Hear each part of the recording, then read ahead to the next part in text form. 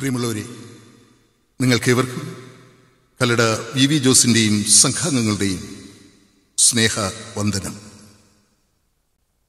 നിങ്ങളുടെ എല്ലാം അനുഗ്രഹ ആശസ്സുകൾ പ്രതീക്ഷിച്ചുകൊണ്ട് ഞങ്ങളുടെ കഥാപ്രസംഗം ആരംഭിക്കുന്നു. ശ്രേഷ്ഠഭാഷ മലയാളത്തിന്റെ ശ്രീകോവിലിൽ മലയാളത്തിന്റെ പ്രിയ സാഹിത്യകാരനായ ബെന്യാമിൻ കൊളുത്തിവെച്ച കിടാവിളക്ക്. ചെങ്ങമ്പുഴയുടെ രമണന് ശേഷം ഏറ്റവും കൂടുതൽ മലയാളികൾ വായിച്ച സാഹിത്യ കൃതി.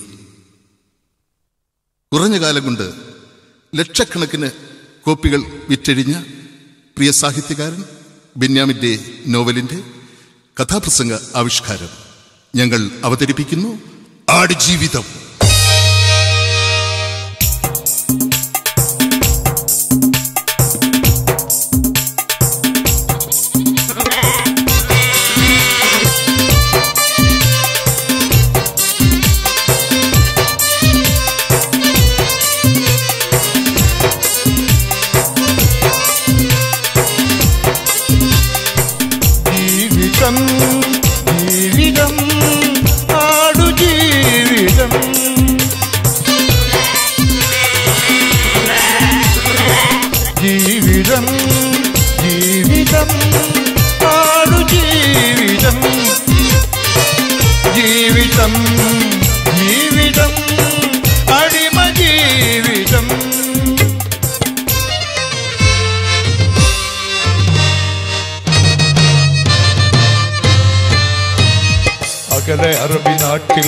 മരുവിൽ ജീവിതം കൊടിയ വേനലെരിയും മരുവിൽ ജീവിതം.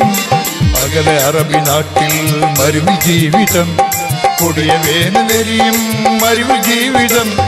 അടിമ ഉടമ ജീവിതത്തിൽ കൊടിയ പീഡനം. അടിമ ഉടമ ജീവിതത്തിൽ കൊടിയ പീഡനം. കഥനഭരിത കഥനമായി ആടു ജീവിതം കഥനഭരിത കഥനമായി ആടു ജീവിതം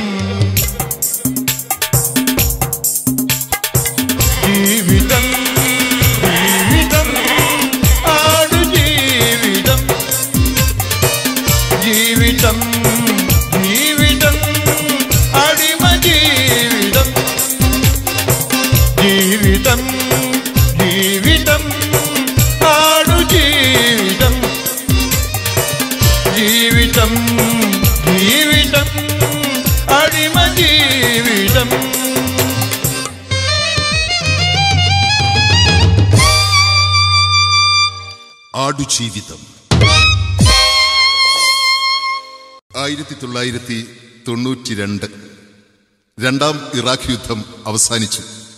യുദ്ധം ഗൾഫ് മേഖലകളിൽ ആകെ പടർത്തിയ അശാന്തിയുടെ പൊടിപടലങ്ങൾ അടങ്ങി. വീണ്ടും ഗൾഫ് രാജ്യങ്ങളിൽ ജോലി സാധ്യതയുടെ വേലിയേറ്റമുണ്ടായി നൂറുകണക്കിന് ആയിരക്കണക്കിന് മലയാളികളായ ചെറുപ്പക്കാർ തങ്ങളുടെ സ്വപ്നങ്ങളുടെ പാണ്ഡവും പേറി ഗൾഫ് രാജ്യത്തേക്ക് ജോലി അന്വേഷിച്ച് യാത്രയായി. അക്കാലത്ത് മലയാളി ചെറുപ്പക്കാരെ ആകർഷിച്ച കാന്തം ഇരുമ്പിന് എന്ന പോലെ ആകർഷിക്കുന്ന ഒരു വാക്കുണ്ടായിരുന്നു. വിസ. വിസ എന്ന വാക്കിന്റെ പൂർണ രൂപം visitors intention to stay abroad എന്നാണ്. വിദേശത്ത് താമസിക്കുന്ന ഒരു പരദേശി അവിടെ എന്തിനു താമസിക്കുന്നു എന്ന ഉദ്ദേശ്യം വ്യക്തമാക്കുന്ന ഒരു രേഖ. Visitors intention to stay abroad പക്ഷേ മലയാളി ചെറുപ്പക്കാരെ സംബന്ധിച്ചിടത്തോളം അക്കാലത്ത് വിസ എന്നത് സ്വപ്നലോകത്തേക്കുള്ള ഒരു താക്കോലായിരുന്നു. ആ കാലഘട്ടത്തിൽ നമ്മുടെ കഥ ആരംഭിക്കുന്നു. തെക്കൻ കേരളത്തിലെ മനോഹരമായ ഒരു ഗ്രാമം. സമയം രാത്രി. വാർതിങ്കൾ താലമെടുത്ത വസന്തരാവേദോവിൻ ചാറൊന്ന് പൂശിക്കയാലെന്ന് വള്ളത്തോൾ നാരായണമേനോൻ മഗ്ദലമറിയത്തിൽ എഴുതി പിടിപ്പിച്ചതുപോലെ താരകാഭരിതമായ ആകാശത്തിന് കീഴെ സുഖ സുഷുപ്തിയിലാണ്ട മനോഹരമായ ഗ്രാമം മനോഹരമായ ഗ്രാമത്തിലെ അതിമനോഹരമായ ഒരു രാത്രി. കുഞ്ഞുങ്ങൾ കണ്ണു കണ്ണുപൊത്തി കളിക്കുന്ന രാത്രി നക്ഷത്ര കുഞ്ഞുങ്ങൾ ചേലോട് മാനത്ത് കണ്ണു പൊത്തി കളിക്കുന്ന രാത്രി ഈ ലോകമാകെ നിശബ്ദമായി നിൽക്കുന്നു ഹേമന്തകാല പ്രശാന്ത രാത്രി. ഈ ലോകമാകെ നിശബ്ദമായി നിൽക്കുന്നു ഹേമന്തകാല പ്രശാന്തരാത്രി. നക്ഷത്ര കുഞ്ഞുങ്ങൾ ചേലോട് മാനത്ത് കണ്ണു പൊത്തി കളിക്കുന്ന രാത്രി. നക്ഷത്ര കുഞ്ഞുങ്ങൾ ഇരുട്ടിന്റെ കരിമ്പട കെട്ടിനുള്ളിൽ ലോകം മുഴുവൻ സുഖ സുഷുപ്തിയിലാണെങ്കിലും അതാ ആ കാണുന്ന കൊച്ചു വീട്ടിൽ മാത്രം ഇനിയും വിളക്കണഞ്ഞിട്ടില്ല. അവിടെ രോഗദൃഢഗാത്രനായ ഒരു ചെറുപ്പക്കാരൻ നജീബ്. അയാൾ ഈ രാത്രിയിലും ഒരു യാത്രയ്ക്കുള്ള പുറപ്പാടിലാണ്. നാളെ അയാൾ ഗൾഫിലേക്ക് പോവുകയാണ്. ഗൾഫിലെ സൗദിയിലേക്ക് സൗദിയിലെ റിയാദിലേക്ക്. ഈ നാട് വിട്ടൊന്നും കൂടുതലൊന്നും യാത്ര ചെയ്തിട്ടുള്ള ആളല്ല നമ്മുടെ നജീബ്. ഒരു പാപം മണൽവാരൽ തൊഴിലാളി. വളരെ ചെറുപ്പത്തിൽ പാപ്പ മരിച്ചുപോയി. ഉമ്മ വളരെ കഷ്ടപ്പെട്ടാണ് അവനെ വളർത്തിയത്. ഉമ്മയുടെ നിർബന്ധപ്രകാരം വളരെ ചെറുപ്പത്തിൽ തന്നെ അവൻ വിവാഹിതനുമായി സുന്ദരിയായ സൈനു. ഈ സൈനുവിന്റെ രണ്ട് ആങ്ങളമാരങ്ങ് ഗൾഫില. കല്യാണമൊക്കെ ആലോ- ആലോചിക്കുന്ന സമയത്ത് തന്നെ അവർ പറഞ്ഞു കല്യാണമൊക്കെ കഴിയട്ടെ. പുതിയാപ്പിള ഞങ്ങളങ്ങ് കൊണ്ടുപോകും ഗൾഫിലേക്ക്. അത് പറഞ്ഞത് വിശ്വസിച്ച് കല്യാണം കഴിഞ്ഞ ഉടനെ സൈനുവിന്റെ നിർബന്ധപ്രകാരം ആദ്യം നജീബ് ചെയ്തത് ഒരു പാസ്പോർട്ട് എടുക്കലാണ്. പക്ഷെ വർഷങ്ങൾ പലത് കടന്നു പോയെങ്കിലും അവരുടെ വാക്ക് പാലിച്ചില്ല. ഇന്നും പമ്പാനദിയുടെ ആഴങ്ങളിൽ മുങ്ങി മണലുവാരി ജീവിക്കുകയാണ് നമ്മുടെ നജീബ്. വൈകുന്നേരമാകുമ്പോൾ ആ മണലുവാരി ക്ഷീണിച്ച് അവശനായി വരുന്ന നജീബിനെ കാണുമ്പോൾ പ്രിയതമിക്ക് സൈനുവിന് കണ്ണുകൾ നിറയും. എന്റെ ആങ്ങളമാര് ആ വാക്ക് പാലിച്ചിരുന്നെങ്കിൽ എന്നവൾ അപ്പോഴൊക്കെ ഓർക്കാറുണ്ട്. ഇങ്ങനെയൊക്കെ സാധാരണ രീതിയിൽ പട്ടിണിയും പരിപട്ടവും ഒക്കെ ആയിട്ട് കഴിയുകയാണെങ്കിൽ ജീവിതത്തിന്റെ ഉയർച്ചയിലും താഴ്ചയിലും എല്ലാം സ്വന്തം ഭർത്താവിനോടൊപ്പം തന്നെ നിൽക്കുന്ന അയാളോട് തോളോട് തോൾ ഒരുമി നിൽക്കുന്ന ഒരു പാപം സുന്ദരിയായിരുന്നു സൈനു. ഒരു നാടൻ പെൺകൊടി. ഗ്രാമീണ സൗന്ദര്യം ചേർന്നു ചേർന്നൊരു നാടൻ പെണ്ണാണു സൈനു. ഗ്രാമീണ സൗന്ദര്യം ചേർന്നു ചേർന്നൊരു നാടൻ പെണ്ണാണു സൈനു. ജീവിത വീതിയിൽ എന്നും തുണയായി തോളോട് തോൾ ചേർന്നു ചെയ്യണു ജീവിത വീതിയിൽ എന്നും തുണയായി തോളോട് തോൾ ചേർന്നു ചെയ്യണു ഗ്രാമീണ സൗന്ദര്യം ചേർന്നു ചേർന്നൊരു നാടൻ പെണ്ണാണു സൈനു ഗൾഫിലേക്ക് പോകണമെന്ന മോഹനം മോഹം ഇങ്ങനെ മനസ്സിൽ താലോലിച്ചുകൊണ്ട് നടക്കുന്ന നജീബ് അപ്രതീക്ഷിതമായിട്ടാണ് കവലയിൽ വെച്ച് ഒരിക്കൽ ഒരു വൈകുന്നേരത്ത് സ്വന്തം ഒരു സുഹൃത്തിനെ കണ്ടുമുട്ടിയത്. കരുവാറ്റക്കാരനായ ഒരു സുഹൃത്ത്. അയാളുടെ അളിയൻ അങ്ങ് ഗൾഫിലാണ്. ഇപ്പൊ നാട്ടിൽ വന്നിട്ടുണ്ട്. വിസയുടെ കുറച്ച് ഏർപ്പാടും ഒക്കെ കൊണ്ടെന്നറിഞ്ഞപ്പോഴത്തേക്ക് നജീബ് അയാളൊക്കെ ചാടി വീണു. എന്നെയും കൂടെ ഒന്ന് ഗൾഫിൽ കൊണ്ടുപോകാൻ ഒരു വിസ എനിക്കൂടെ ശരിയാക്കി തരുമോ? അയാൾ അത് സമ്മതിച്ചു. അടുത്ത ദിവസം രണ്ടുപേരും കൂടി ആ കരുവാറ്റക്കാരൻ സുഹൃത്ത് നജീവും കൂടി അളിയന്റെ വീട്ടിൽ ചെന്നു. എനിക്ക് ഈ വിസയുടെ ബിസിനസ്സൊന്നുമില്ല പിന്നെ ഞാൻ ജോലി ചെയ്യുന്ന സ്ഥാപനത്തിന്റെ എന്റെ സ്പോൺസർ അറബി. എന്റെ വലിയ വിശ്വാസം. ഞാൻ ഇങ്ങോട്ട് നാട്ടിലോട്ട് പോരുമ്പോൾ ഒന്നും രണ്ടും വിസയുടെ ഏർപ്പാടുമായിട്ടാണ് അദ്ദേഹം എന്നെ വിടുന്നത്. എന്റെ ബന്ധുക്കളെയോ സുഹൃത്തുക്കളെയോ അല്ലെങ്കിൽ നാട്ടുകാരെയോ ഒക്കെ സഹായിക്കണമെന്ന് വിചാരിച്ച് ഞാൻ അതൊന്ന് ചെയ്യാ ചെയ്തു കൊടുക്കാറുണ്ട്. കൂടുതൽ പൈസ ഒന്നും ഞാൻ മേടിക്കാറില്ല. പക്ഷെ ഒരു മുപ്പതിനായിരം രൂപ ചെലവാകും. ഇരുപതിനായിരം രൂപ അറബിക്ക് കൊടുക്കണം പതിനായിരം രൂപ മെഡിക്കലിനും ടിക്കറ്റിനും ഒക്കെ ചിലവാകും. ഉണ്ടോ? ഉണ്ടെങ്കിൽ മാത്രം രണ്ട് വിസയുടെ ഒരു ഏർപ്പാട് മാത്രമായിട്ടാണ് ഞാൻ ഇപ്പം വന്നിരിക്കുന്നത്. ഉണ്ടോ? മുപ്പതിനായിരം രൂപ പലരും തരാനുണ്ട്. നിങ്ങളുടെ കയ്യിൽ എടുക്കാനുണ്ടെങ്കിൽ മാത്രം അതും കൃത്യമായിട്ട് ഇരുപതിനായിരം രൂപ ഇപ്പോൾ ഉടൻ തന്നെ ഒരു ഞാൻ പോകുന്നത് അടുത്ത ഇരുപത്തി ഏഴാം തീയതി പോവുകയാണ്. അതിന് മുമ്പ് കിട്ടണം. ഉണ്ടോ? നജീബ് അതങ്ങ് സമ്മതിച്ചു. അത് സമ്മതിച്ചിട്ടങ്ങ് വീട്ടിൽ വന്നു. മുപ്പതിനായിരം രൂപ. സഹായിക്കാൻ ആരുമില്ലാത്ത വലിയ ബന്ധു ബലമൊന്നുമില്ലാത്ത നജീബി മുപ്പതിനായിരം രൂപ എവിടെ നിന്നുണ്ടാക്കും പക്ഷേ സൈനുവിന് നിർബന്ധമായിരുന്നു. ഉണ്ടാക്കാക്ക നമ്മളെ പൈസ ഉണ്ടാക്കാം. പിന്നെ നജീബ് ഒരോട്ടമായിരുന്നു. ഗൾഫിലേക്ക് അക്കാലത്ത് പോയ പതിനഞ്ച് ലക്ഷം മലയാളികൾക്കും സാധാരണക്കാരായ സഹായിക്കാൻ ബന്ധുക്കളോ സുഹൃത്തുക്കളോ ആരുമില്ലാത്ത സാധാരണക്കാരായ പതിനഞ്ച് ലക്ഷം മലയാളികൾക്കും അക്കാലത്ത് പറയാനുണ്ടായിരിക്കും ഇങ്ങനെ ഒരു ഓട്ടത്തിന്റെ കഥ.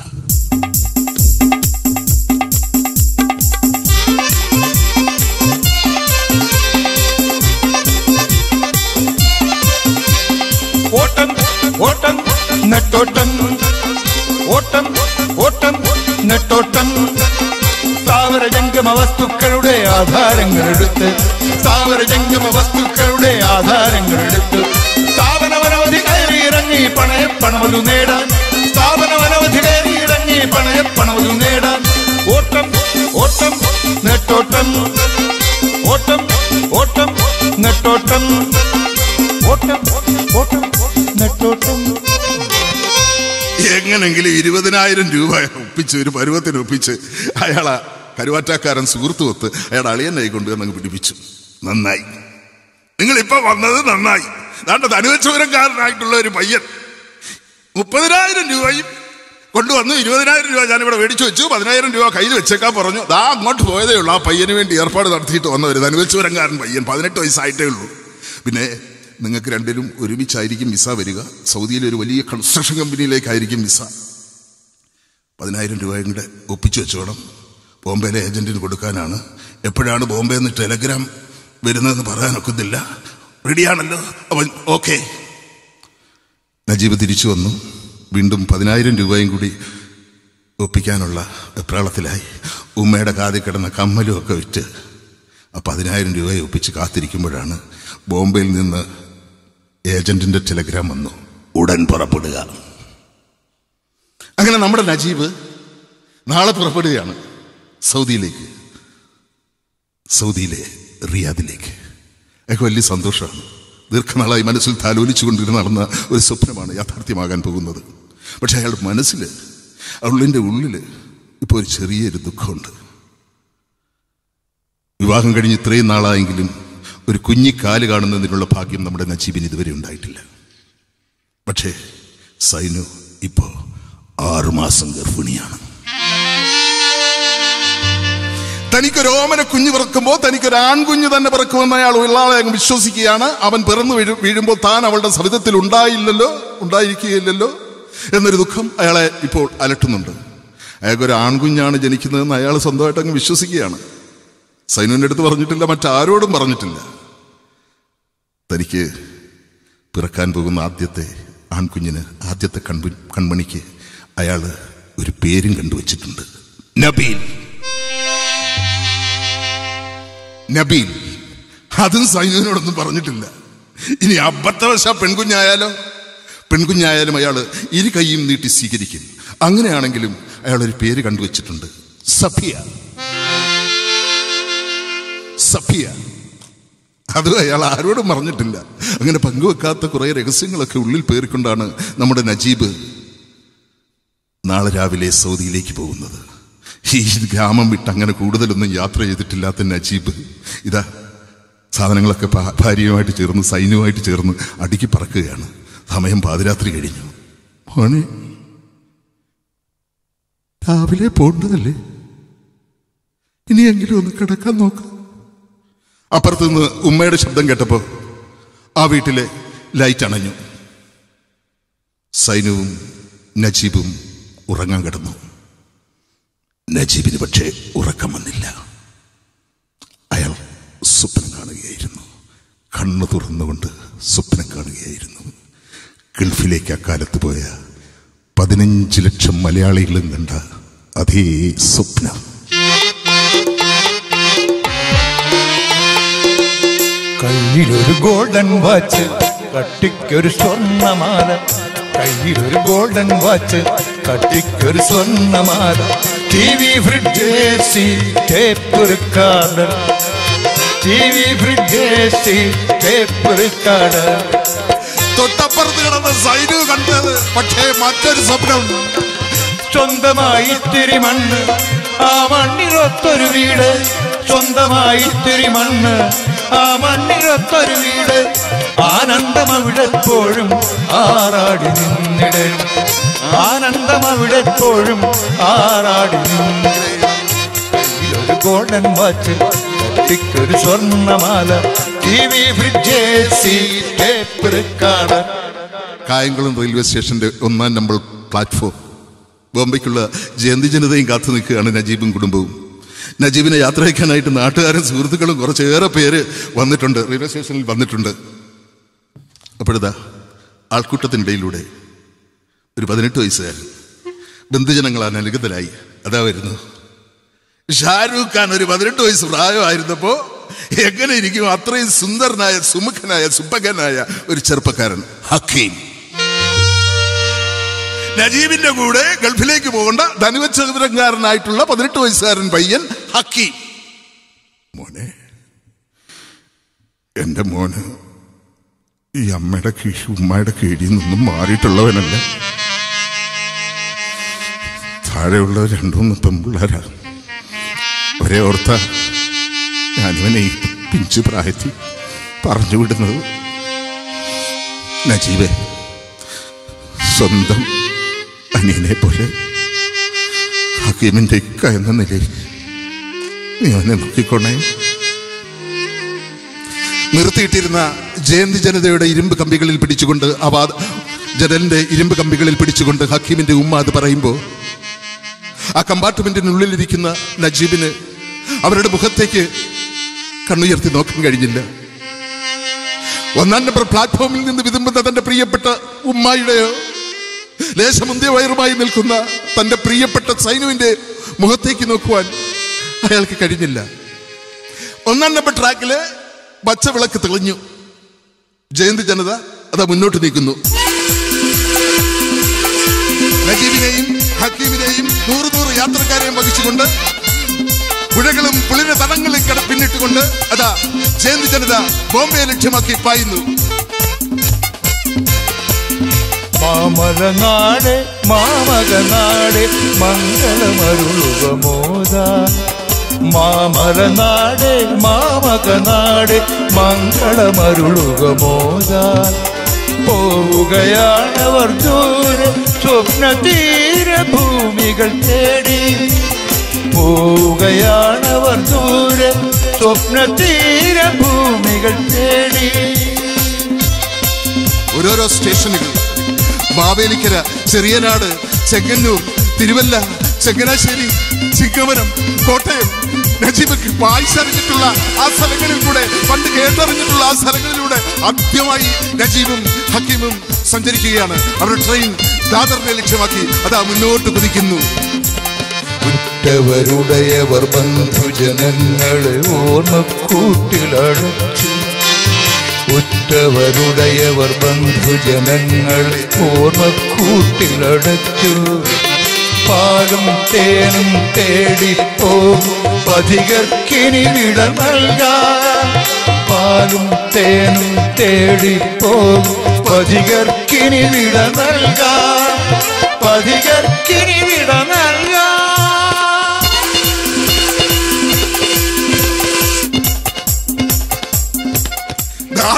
സ്റ്റേഷനിൽ മൂന്നാം ദിവസം അതിരാവിലെ ദാദർ റെയിൽവേ സ്റ്റേഷനിൽ ജയന്തി ജനത ചെന്ന് നിന്നപ്പോൾ അവിടെ അവരെ കാത്തു നിന്ന് നാട്ടുകാരനായ ഒരു ശശി ഉണ്ടായിരുന്നു. ശശിയുടെ അടുത്ത് പറഞ്ഞിരുന്നു നേരത്തെ വരുമെന്നുള്ള കാര്യം എഴുതി അറിയിച്ചിരുന്നതിനാൽ ശശി അവരെ കാത്തു നിന്നിരുന്നു.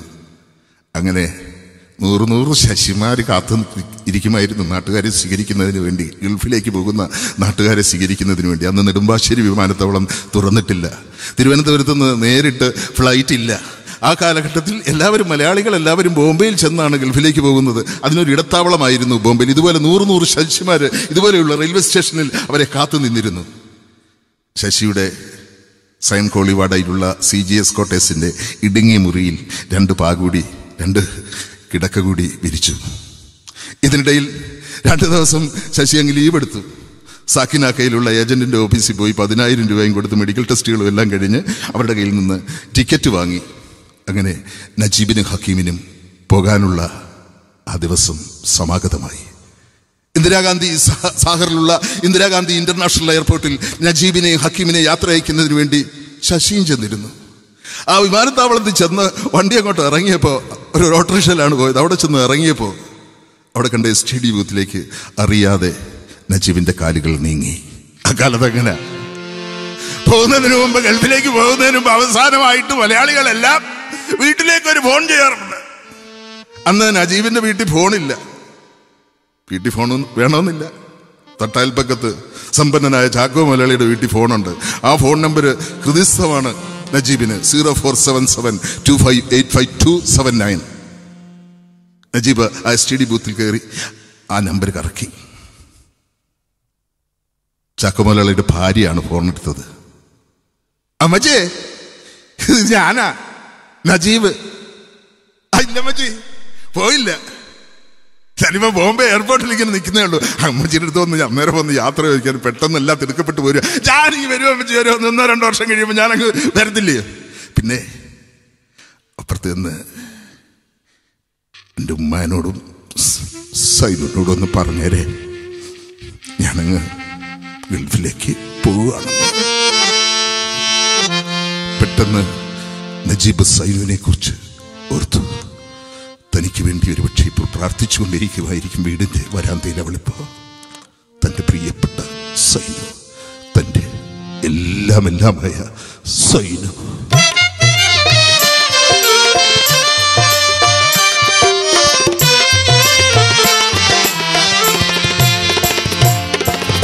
അഴകിന്റെ അഴകാണ് സൈനു. എന്റെ കരളിന്റെ കരളാണ് സൈനു. അഴകിന്റെ അഴകാണ് സൈനു. എന്റെ കരളിന്റെ കരളാണ് സൈനു. അണിവയപ്പേറും ദുഃഖം എന്റെ ജീവൻ തുടിക്കുന്ന സ്വപ്നം. അണിവയപ്പേറുന്ന ദുഃഖം എന്റെ ജീവൻ തുടിക്കുന്ന സ്വപ്നം. അഴകിന്റെ അഴകാണു സൈനു. എന്റെ കരളിന്റെ കരളാണു സൈനു.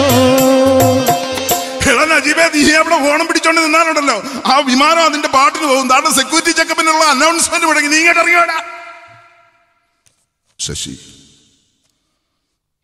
എത്ര ദിവസം ഒരാഴ്ച കഴിഞ്ഞു? ഇങ്ങനെ ഞാൻ വീട്ടിൽ നിന്ന് മാറി നിന്നിട്ടില്ലടാ.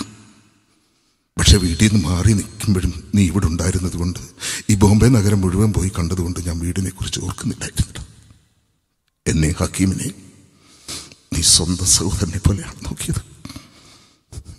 എന്താ ശശി? ഇപ്പോ ഞാൻ തരേണ്ടത്. അങ്ങോട്ട് സെക്യൂരിറ്റി ചെക്കപ്പിനുള്ള അനൗൺസ്മെന്റ് ഒഴുകി. അത് എടുക്ക. ഇല്ല ശശി. എന്റെ അടിയൻ എനിക്ക് പണ്ട് തന്നതാണ് ഈ സ്വർണ വാച്ച് നിനക്കിരിക്കട്ടെ. പിന്നെ ശശി ഞാനങ്ങ് കൽപ്പിച്ചല്ലട്ടാ എന്റെ സ്പോൺസർ അറബിയുടെ കയ്യോ കാലോ പിടിച്ച് ഞാനൊരു വിസ ഒപ്പിക്കും. നിനക്ക് അയച്ചു തരൂടാ. സയൻ കോളിവാടയിലുള്ള നിന്റെ സി ജി എസ് കോട്ടസിൽ എന്റെ അഡ്രസ് ഉണ്ട്. ഞാൻ അയച്ചു തരൂടാ. സെക്യൂരിറ്റി ചെക്കപ്പ് ഒക്കെ കഴിഞ്ഞു. ഒരു വിമാനത്തിൽ കയറി. എയർ ഇന്ത്യയുടെ വിമാനം. ഹക്കിമിന്റെയും നജീബിന്റെയും ആദ്യത്തെ വിമാന യാത്ര. മൂന്നര മണിക്കൂർ യാത്ര. അവർ ഗൾഫിലെത്തിച്ചേർന്നു. സൗദിയിൽ റിയാദിൽ റിയാദ് കിങ് ഭഗത് ഇന്റർനാഷണൽ എയർപോർട്ടിൽ. കൃത്യമായി പറഞ്ഞാൽ ആയിരത്തി തൊള്ളായിരത്തി തൊണ്ണൂറ്റി രണ്ട് ഏപ്രിൽ മാസം നാലാം തീയതി ശനിയാഴ്ച നജീബും ഹക്കീമും കിങ് ഭഗത് ഇന്റർനാഷണൽ എയർപോർട്ടിൽ എത്തിച്ചേർന്നു റിയാദ്. എന്തുവാടാ? സ്വർഗലോകത്ത് വന്നാണോ നമ്മൾ ഇറങ്ങിയത്? എത്ര എത്ര ആൾക്കാരാണ് എന്തെല്ലാം വേഷങ്ങൾ എന്തെല്ലാം ഭാഷകൾ എന്തൊരു മണമാണ് ഇത്. ഗൾഫിലെ ഒരു മണം പോകുന്നൊരു മഹാനഗരമേ ഇതാണ് മലയാള നാട്ടിൽ നിന്ന് രണ്ട് എട്ടും പൊട്ടും തിരിയാത്ത ഞങ്ങൾ രണ്ടുപേര്. നിന്റെ മാർപ്പിടത്തിലേക്ക് ഞങ്ങൾ വരികയാണ്. മലയാളം അല്ലാതെ ഒരു ഭാഷ അറിഞ്ഞൂടാത്ത ഞങ്ങളെ നീ ഇരു കൈകളും നീട്ടി സ്വീകരിക്കണേ. അഹലൻ വഹ്സലൻ.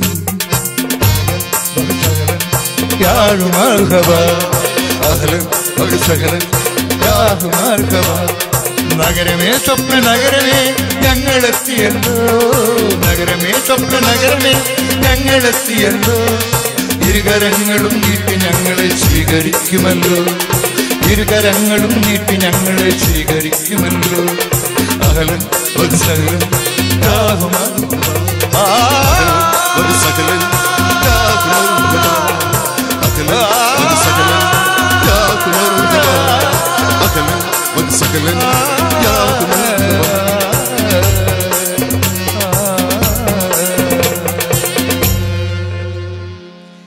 എയർപോർട്ടിൽ ചെന്ന് വിമാനം ഇറങ്ങിക്കഴിഞ്ഞാൽ അങ്ങോട്ടും ഇങ്ങോട്ടും ഒന്നും പോകരുത്.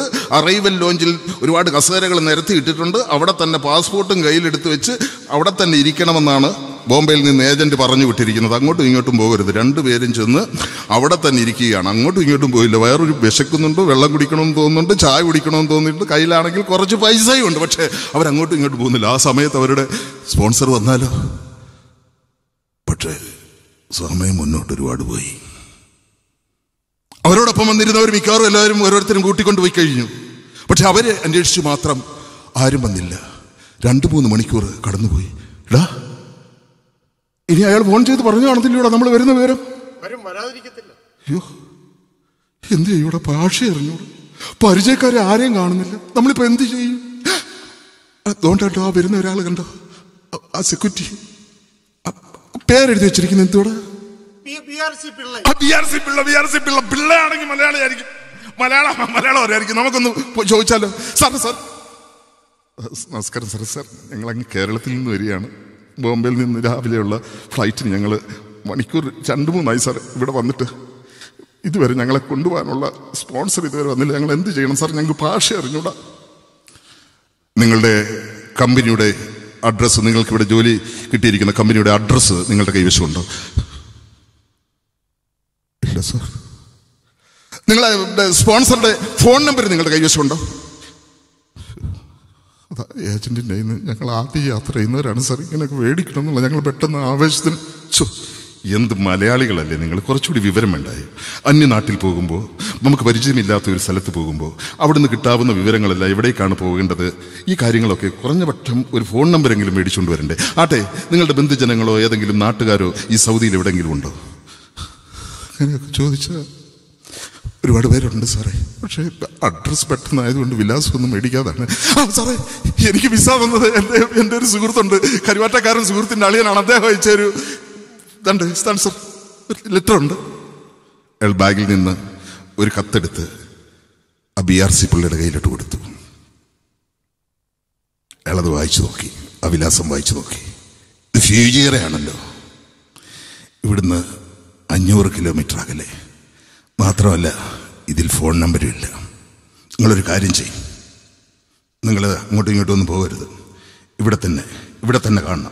ഇവിടെ തന്നെ ഇരിക്കുക രണ്ട് ഒന്ന് രണ്ട് മണിക്കൂറിനുള്ളിൽ നിങ്ങളുടെ അർബാബ് വരുമോ എന്ന് നോക്കാം. ആരാ സാറേ?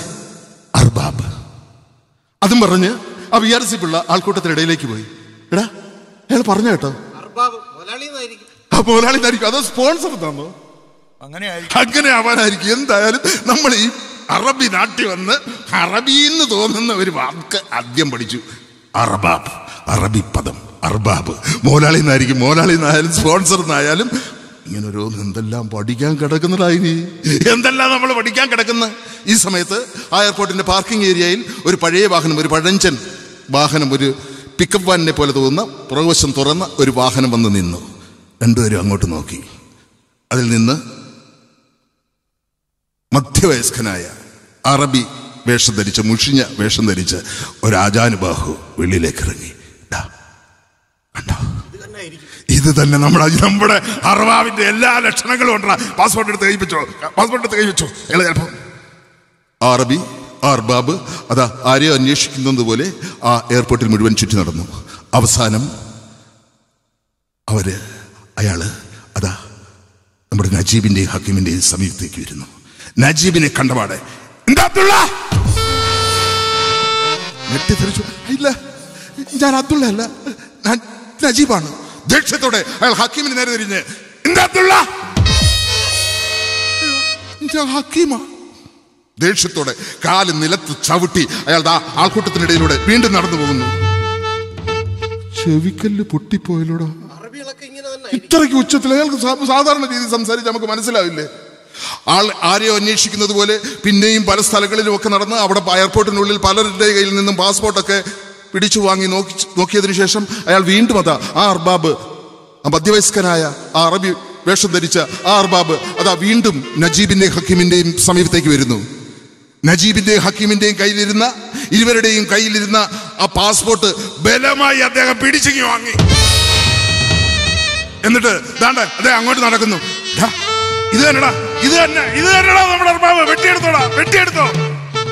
നജീബും ഹക്കീമും തങ്ങളുടെ പെട്ടി എടുത്തുകൊണ്ട് അതാ ആ അർബാബിന്റെ പിന്നാലെ നടക്കുന്നു.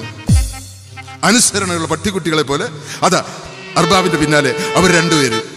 അദ്ദേഹം അവിടെ നേരത്തെ പാർക്ക് ചെയ്തിരുന്ന പഴഞ്ചൻ വാഹനത്തിന് സമീപത്തേക്കാണ് നടക്കുന്നത്. ആ വാഹനത്തിന് സമീപത്തെത്തിയതും നജീബിന്റെ കയ്യിലിരുന്ന ആ വലിയ പെട്ടി അയാൾ പെട്ടെന്ന് പിടിച്ചിങ്ങോട്ട് വാങ്ങി വലിച്ചൊരൊറ്റ ഏറ് ആ വണ്ടിയുടെ പിൻവശത്തേക്ക് ഒരു ഏറ്. അയ്യോ എന്റെ ഉമ്മ തന്നു വിട്ട. നാരങ്ങ ഹോർലി ഇപ്പൊ എല്ലാം പൊട്ടി കാണും.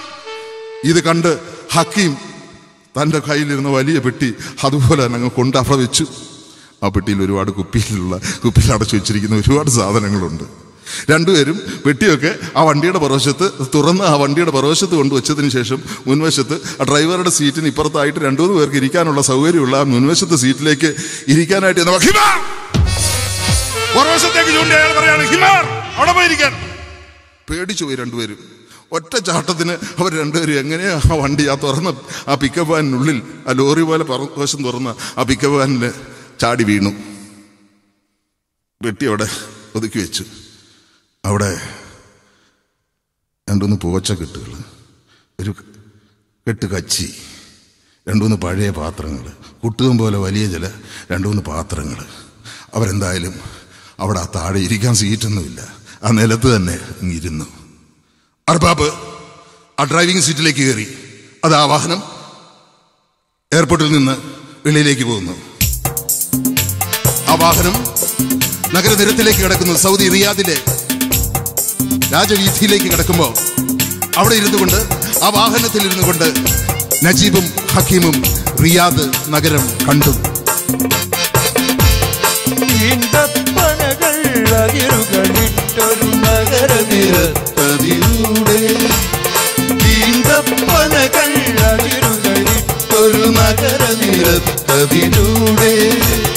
തുറന്ന പിക്കപ്പ് വാനിലിരുന്നവർ യാതു നഗരം കണ്ടു തുറന്ന പിക്കപ്പ് വാനിലിരുന്നവർ യാതു നഗരം കണ്ടു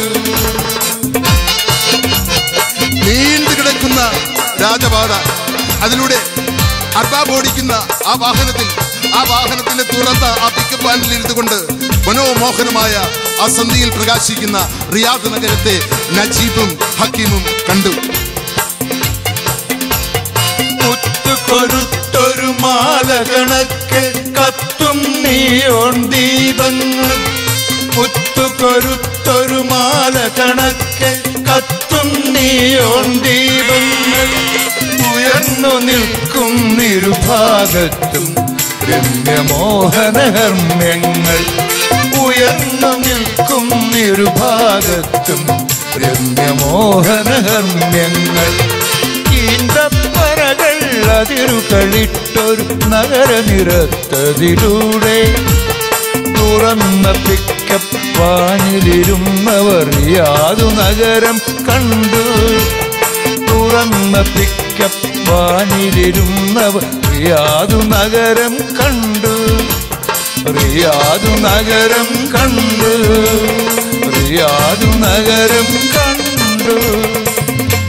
ഇപ്പോ ആ പ്രധാനപ്പെട്ട പാത പിന്നിട്ട് അതാ ഇപ്പം മണലാരണ്യത്തിലൂടെയാണ് അവരുടെ വാഹനം സഞ്ചരിക്കുന്നത്. ഇതാ ഈ അർബാബിദ് നമ്മളെ എവിടെ കൊണ്ടുപോവുക? സൗദി റിയാദിലെ ഒരു ഉന്നതമായിട്ടുള്ള ഒരു കൺസ്ട്രക്ഷൻ കമ്പനിയിലാണ് ഞങ്ങൾക്ക് ജോലി എന്ന് പറഞ്ഞിട്ട് ഇത് ഈ മണലാരണ്യത്തിലേക്ക്? പാവ ഹക്കി ക്ഷീണിതനായ അവൻ ദാണ്ട് ആ ബാഗിലേക്ക് ആ വലിയ അവന്റെ വലിയ പെട്ടിയിലേക്ക് തലചായ്ച്ച് ഇതിനിടെ ഉറക്കം ആരംഭിച്ചു പാവം സി ജി എസ് കോട്ടേഴ്സിൽ വെച്ച് പോകുന്നതിന് മുമ്പ് രണ്ട് മൂന്ന് ചപ്പാത്തിയും കുറച്ച് സബ്ജിയും കഴിഞ്ഞിട്ടാണ് കഴിച്ചിട്ടാണ് ഒരു യാത്ര തിരിച്ചത്. വിമാനത്തിൽ നിന്നൊന്നും കഴിക്കരുത് അവരുടെ വയറ്റിന് പിടിക്കില്ല എന്ന് ശശി പറഞ്ഞത് കാരണം പച്ചവെള്ളം മാത്രമാണ് ഇത്രയും നേരം കുടിച്ചത്. എയർപോർട്ടിൽ വെച്ച് ശേഷം എന്റെ കുടൽ കരിയുന്നു എന്ന് ഹാക്കി പറഞ്ഞപ്പോഴും വരട്ടെ മോനെ നമ്മുടെ അർബാബ് വരട്ടെ എന്ന് പറഞ്ഞിരിക്കുകയായിരുന്നു. പക്ഷെ ഇപ്പോൾ ഇതെന്തൊരു മനുഷ്യന്? ഇയാൾ ഇതുപോലെയൊക്കെയാണോ അറബികളൊക്കെ ഇങ്ങനെ തന്നെ ആയിരിക്കും ഇങ്ങനാണോ ഒരു ഇത്രയും യാത്ര ചെയ്ത് വരുന്നവരോട് പെരുമാറേണ്ടത് അതിഥികളോട് പെരുമാറേണ്ടത്? ആ വാഹനം മുന്നോട്ട് ആ മണൽ മണലാരണ്യത്തിൽ കൂടി മുന്നോട്ട് പോകുമ്പോൾ രാത്രിയായി കഴിഞ്ഞു. വിളക്കുകളെങ്ങും പരിസരത്തെങ്ങും കാണാനില്ല. നജീബും ഒരു പെട്ടിയിലേക്ക് തലചായ്ച്ച് ഉറക്കം ആരംഭിച്ചു. ഒരു കുടുക്കത്തോടെ ആ വണ്ടി ഒന്ന് നിന്നപ്പോഴാണ് നജീബ് കണ്ണു തുറന്നത്. കുറ്റ കുറ്റിരുട്ട്. ചുറ്റിലും കുറ്റ കുറ്റിരുട്ട്. നജീബ് എഴുന്നേറ്റു. ആ വണ്ടിയുടെ ഡ്രൈവിംഗ് സീറ്റിൽ നിന്ന് അർബാബ് വന്ന് അപ്പോ നജീബ് പെട്ടി എടുത്തുകൊണ്ട് ഇറങ്ങാൻ ഒരുങ്ങുന്നു നീയല്ല ഹിമാർ അവൻ. ഹക്കീമിനെ ചൂണ്ടി അയാൾ പറയുകയാണ് അറബി പറയുകയാണ് അവന് ഇങ്ങോട്ട് ഇറങ്ങി വരാൻ. പാവ ഹക്കീം ഒന്നും അറിയാതെ ഇപ്പോഴും സുഖമായി പെട്ടിയിൽ തലവെച്ച് അവൻ കിടക്കുകയാണ്. ആർബാബ് കയ്യിലിരുന്ന വലിയ വടി കൊണ്ട് അതിൽ ആ വണ്ടിയുടെ റെയിലിൽ ആഞ്ഞടിച്ചു. പെട്ടെന്ന് ഹക്കീം ഞെട്ടി ഉണർന്നു ഹിമാ ഇറങ്ങിയോടാ ആ ആംഗ്യം കണ്ടപ്പോഴേ ഭാഷ മനസ്സിലായെന്ന പോലെ ഹക്കീം വെട്ടിയെടുത്തോണ്ട് ഒറ്റ ചാട്ടം വെളിയിലേക്ക്. പിന്നാലെ ചെല്ലാൻ ഒരുങ്ങിയ നജീബിനെ അയാൾ തടഞ്ഞു. നീ വരണ്ട വണ്ടിയിലിരുന്നാ മതി. കുറച്ചു ദൂരെയായി ഒരു ചെറിയ വെട്ടം കാണാം. ഒരു കൂടാരത്തിൽ നിന്ന് വരുന്ന ഒരു നേർത്ത വെട്ടം. ഒരു നൂൽ പോലെ കാണാം. ആ വെട്ടത്തിന് നേരെയാണ് ഹക്കീമിനെയും കൊണ്ട് അർബാബ് നടന്നു പോകുന്നത്. ദൈവമേ ഈ പാതിരാത്രി ഈ ഇയാൾ അറിയപ്പെടാത്ത ഈ സ്ഥലത്ത് ഈ ഹക്കീമിനെയും കൊണ്ട് ഇത് എങ്ങോട്ട് പോകുക ഞങ്ങൾ രണ്ടുപേർക്കും ഒരേ കൺസ്ട്രക്ഷൻ കമ്പനിയിലാണ് ജോലി എന്ന് പറഞ്ഞിട്ട് എന്നെ മാത്രം ഇവിടെ ഇരുത്തിയിട്ട് ഈ ഹക്കീനെ ഹക്കീമിനെ മാത്രം ഇയാൾ അവിടെ കൊണ്ടുപോവുക? എനിക്കതറിയണം. അവന്റെ ഉമ്മ ഉണ്ടല്ലോ. എന്നെ അടുത്ത് എന്നോട് അവന് പറഞ്ഞുവിട്ടിരിക്കുന്നത് അവന്റെ കാര്യം നോക്കേണ്ടത് ഞാനാണ്. അവനെ പൊന്നുപോലെ നോക്കിക്കോണമെന്ന് പറഞ്ഞ. സ്വന്തം സഹോദരനെ പോലെ നോക്കിക്കോണമെന്ന് പറഞ്ഞ അവന്റെ ഉമ്മ എന്നോടൊപ്പം അവനെ പറഞ്ഞു വിട്ടിരിക്കുന്നത്. നജീബിന് ആ വാഹനത്തിൽ ഇരുന്നിട്ട് ഇരിപ്പുറച്ചില്ല നജീബ് ആ വാഹനത്തിൽ നിന്ന് ചാടി ഇറങ്ങി.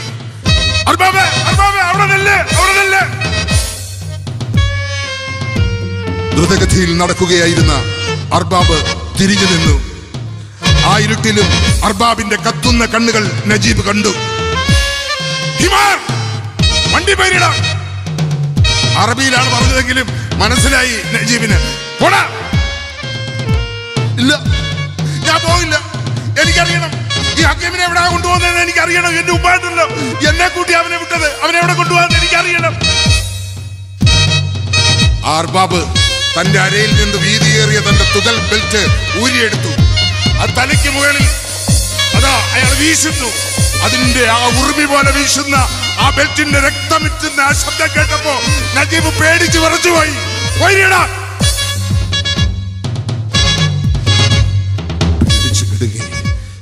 നജീബ് പിന്തിരിഞ്ഞു നടന്നു. ആ വണ്ടിയിൽ വന്നിരുന്നു. ഞങ്ങളെ തട്ടിക്കൊണ്ടുവന്നതാണ്. ആ നിമിഷം മുതൽ ഭയം ഒരു മണിയനീച്ച പോലെ അവന്റെ തലയ്ക്ക് ചുറ്റും വട്ടമിട്ട് പറക്കുവാൻ തുടങ്ങി. കുറച്ചു കഴിഞ്ഞപ്പോ അർബാബ് തിരിച്ചു വന്നു ഒറ്റയ്ക്ക്. അയാൾ വീണ്ടും ആ വണ്ടിയിലേക്ക് കയറി. വണ്ടി സ്റ്റാർട്ടാക്കി. ഒരു കിലോമീറ്റർ പോയി കാണും. ആ വണ്ടി അവിടെ നിന്നു. അവിടെ ഉണ്ടൊരു കൂടാരം. വണ്ടി വരുന്ന ശബ്ദം കേട്ട് ആ കൂടാരത്തിനുള്ളിൽ നിന്നും വൃദ്ധനായ ഒരു അറബി ആ വാതുക്കൽ വന്ന് നിന്നു. നമ്മുടെ അർബാബ് നേരെ ആ കൂടാരത്തിന് സമീപത്തേക്ക് ചെന്ന് ആ വൃദ്ധനായ അറബിയെ ആശ്ലേഷിച്ച് അറബിയിൽ അങ്ങോട്ടും ഇങ്ങോട്ടും ആശ്ലേഷിച്ചുകൊണ്ട് എന്തൊക്കെയോ പറഞ്ഞു. പിന്നെ വണ്ടിയിലേക്ക് ചൂണ്ടി നജീബിനെ ചൂണ്ടി എന്തൊക്കെയോ പറഞ്ഞു. പിന്നെ അവിടെ കിടന്ന് ഒരു ജീപ്പിൽ കയറി ദാ നജീബിനെ അവിടെ കൊണ്ടുവന്ന് എത്തിച്ച അർബാബ് ആ ജീപ്പിൽ കയറി ദാ പോകുന്നു.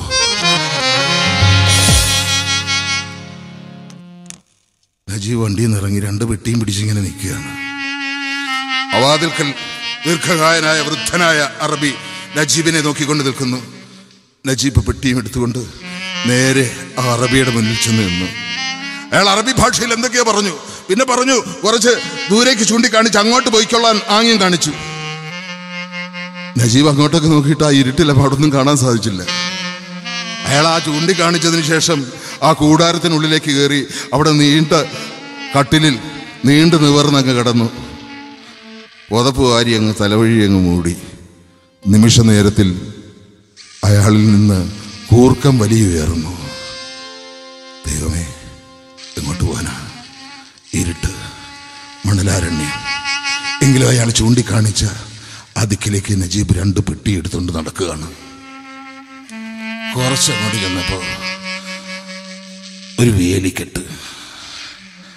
വല്ലാത്ത ദുർഗന്ധം ഒരു മുഷടുവാട ആ വേലിക്കെട്ടിനുള്ളിലേക്ക് സൂക്ഷിച്ചു നോക്കിയപ്പോൾ അതാ അവിടെ ആടുകളുടെ കരച്ചിൽ. നജീബ് കുറച്ചു നേരം കണ്ണുകളെ ഒന്ന് സാന്ദ്രമാക്കി നോക്കിയപ്പോ എത്രമാത്രം ആടുകൾ? ഒന്നല്ല നൂറല്ല ആയിരക്കണക്കിന് ആടുകൾ. ആടുകളുടെ ഒരു കടൽ. നജീബ് വന്നെത്തിയിരിക്കുന്നത് ഒരാട് വളർത്തൽ കേന്ദ്രത്തിൽ. നജീബ് പതുക്കെ ആ വേലിക്കരിയിലൂടെ കുറച്ചുകൂടി മുന്നോട്ട് ചെന്നപ്പോൾ അവിടെ അതാ ഒരു തടിക്കട്ടിൽ. ആ തടിക്കട്ടിലിൽ കുനിഞ്ഞിരിക്കുന്ന ഒരാൾ. നജീബിന്റെ പാദപതന ശബ്ദം കേട്ടപ്പോ അയാൾ തലയുയർത്തി നോക്കി. അയ്യോ! താടി മാറോളം നീണ്ട ജടപിടിച്ച താടി. ഒരു ഭീകര രൂപം. പേടിച്ച് വിറച്ച് നജീബ് അവിടെ നിൽക്കുമ്പോ അയാളിൽ നിന്നൊരു പൊട്ടിച്ചിരി ഉയർന്നു. എന്ത് ചെയ്യണമെന്നറിയാതെ നിന്ന് വിറയ്ക്കുകയാണ് നജീബ്. ആ പൊട്ടിച്ചിരി നിലച്ചപ്പോ അയാൾ നജീബിനറിയാത്ത ഭാഷയിൽ എന്തൊക്കെയോ പറഞ്ഞു തുടങ്ങി. അയാൾ സംസാരിക്കുന്ന ഒരു വാക്കിന്റെയും അർത്ഥം നജീബിന് മനസ്സിലായില്ലെങ്കിലും ആ സംസാരത്തിന്റെ വികാരം നജീബിന് മനസ്സിൽ ആവുന്നുണ്ടായിരുന്നു വിലാപം പോലെ പ്രതിഷേധം പോലെ ആരോടോ പക പോലെ ദുഃഖം ഉറഞ്ഞുകൂടിയ വാക്കുകൾ. അവസാനം അയാൾ പൊട്ടിക്കരയാൻ തുടങ്ങി. പൊട്ടി പൊട്ടിച്ചിരിച്ചുകൊണ്ട് സംസാരം തുടങ്ങി അയാൾ. പൊട്ടിക്കരയാൻ തുടങ്ങി. അങ്ങനെ പൊട്ടി പൊട്ടിക്കരിഞ്ഞ് അയാൾ അതാ വെട്ടിയിട്ട ഒരു തടി പോലെ ആ കിടക്കയിലേക്ക് വീഴുന്നു.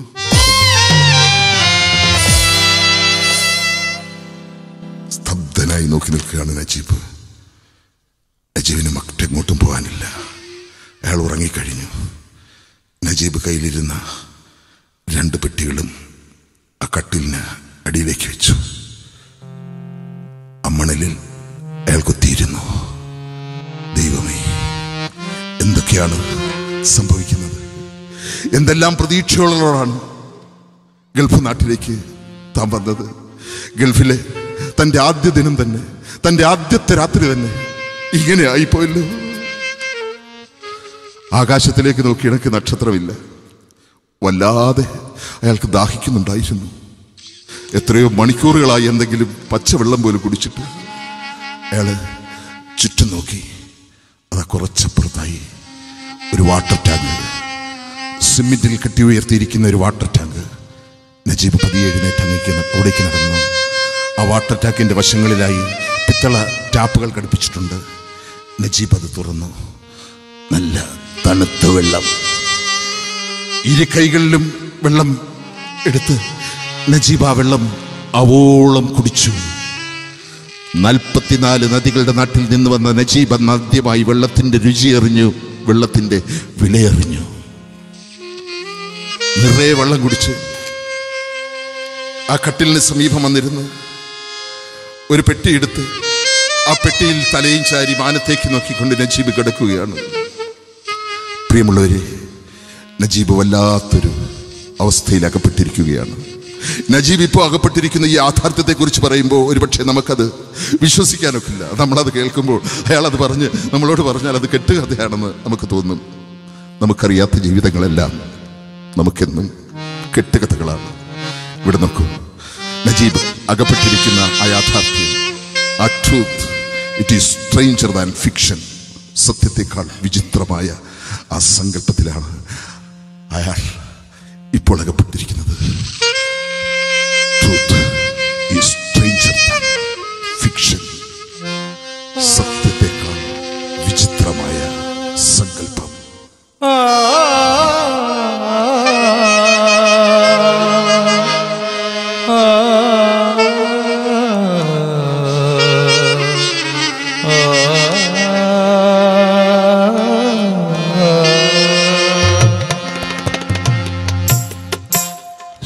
സ്വപ്നമൊരു ക്രൗഞ്ച പക്ഷി കൊക്കുരുമ്മി ഇണയോടൊത്ത് സ്വർഗസുഖം തേടും പക്ഷി. സ്വപ്നമൊരു ക്രൗഞ്ച പക്ഷി കൊക്കുരുമ്മി ഇണയോടൊത്ത് സ്വർഗസുഖം പക്ഷി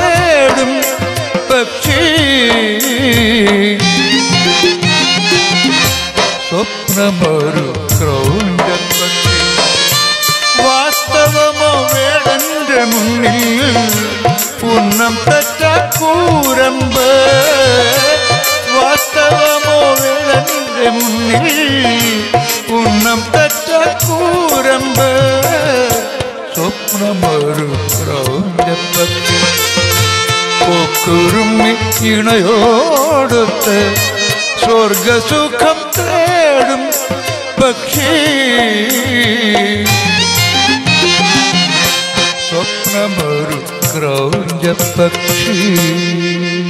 എപ്പോഴാണ് ഉറങ്ങിയതെന്ന് നബി- നജീബിന് തന്നെ അറിയില്ല. സൂര്യരശ്മികൾ പ്രഭാത കിരണങ്ങൾ തന്റെ മുഖത്ത് വന്നടിച്ചപ്പോഴാണ് നജീബ് ഉണർന്നത്. അപ്പോഴാണ് ആ പ്രദേശത്തെക്കുറിച്ച് ഒരു ധാരണ ഒരു ഏകദേശ ധാരണ നജീബിനുണ്ടാകുന്നത്. അറബിയിൽ മസറ എന്ന് പറയുന്ന ആട് വളർത്തൽ കേന്ദ്രം. മരുഭൂമിക്ക് വിശാലമായ മരുഭൂമിയുടെ നടുവിൽ കമ്പിവേലി കെട്ടി അതിൽ ആടുകളെ പാർപ്പിച്ചിരിക്കുകയാണ്. ആ കമ്പിവേലിക്കുള്ളിൽ പല പല കള്ളികളായി തിരിച്ച് പല തരത്തിലുള്ള ആടുകളെ പല പല സൈസിലും തരത്തിലുമുള്ള ആടുകളെ അങ്ങനെ മാറ്റി മാറ്റി ആയിരക്കണക്കിന് ആടുകളെ പാർപ്പിച്ചിരിക്കുന്നു മസറ. ഇതിൽ നിന്ന് ഒരു കള്ളിയിൽ നിന്ന് തുറന്ന് പത്തറുപത് ആടുകളെ പുറത്തേക്കിറക്കി. അതാ താൻ തലേന്ന് കണ്ട ഭീകരരൂപി ആ ആടുകളുമായി നടന്നു പോകുന്നു. നജീബ് ഇതെല്ലാം നോക്കി നിൽക്കുമ്പോൾ അതാ തന്നെ തലേ രാത്രി എയർപോർട്ടിൽ നിന്ന് ഇവിടെ കൊണ്ടുവന്ന് വിട്ട അർബാബ് ഒരു ജീപ്പിൽ അവിടെ വന്നിറങ്ങുന്നു. ആ ജീപ്പിൽ കയറി ആ കൂടാരത്തിലുണ്ടായിരുന്ന വൃദ്ധനായ അറബി ജീപ്പിൽ കയറി മടങ്ങുന്നു അങ്ങോ പോകുന്നു. നജീബ് ഓടിച്ചെന്നു. അർബാബിന്റെ കാൽക്കൽ ചെന്ന് വീണു. അർബാബെ അർബാബെ. ഇവിടെ കല്ലെന്നെ കൊണ്ടുവന്നത്. എന്നെ ഹക്കീമിനെ കൊണ്ടുവന്നത്. ഒരു കൺസ്ട്രക്ഷൻ കമ്പനിയിലെ ജോലിക്കായിട്ടാണ്. ഇവിടെ ഞങ്ങളെ തെറ്റിച്ച് തെറ്റായിട്ട് വേറെ ആരെ ആണെന്ന് കരുതി ഞങ്ങളെ പിടിച്ചോണ്ട് വരികയായിരുന്നു. ഞങ്ങളെ പോകാൻ അനുവദിക്കണം. എനിക്കറിയാം ഹക്കീമിനെ ഇതുപോലുള്ള ഒരു സ്ഥലത്ത് അവിടെ കണ്ടുകൊണ്ട് ആക്കിയിരിക്കുകയാണെന്ന് എനിക്കറിയാം. ഞങ്ങളെ രണ്ടുപേരെ പോകാനായിട്ട് അനുവദിക്കണം. എങ്ങനെങ്കിലും എയർപോർട്ടിൽ കൊണ്ടുവന്ന് വിട്ടാൽ മതി. ഞങ്ങൾ എങ്ങനെങ്കിലും അങ്ങ് പോയിക്കോളാം. കാശ് തരണം ഒന്ന് തരണ്ട. ഒന്ന് കൊണ്ടുവിട്ടാൽ മതി. ഞങ്ങളെ കെട്ടിപ്പിടിച്ച് പൊട്ടി പൊട്ടി കരയുകയാണ് കാലിൽ കെട്ടിപ്പിടിച്ച് പൊട്ടി പൊട്ടി കരയുകയാണ് നജീബ്.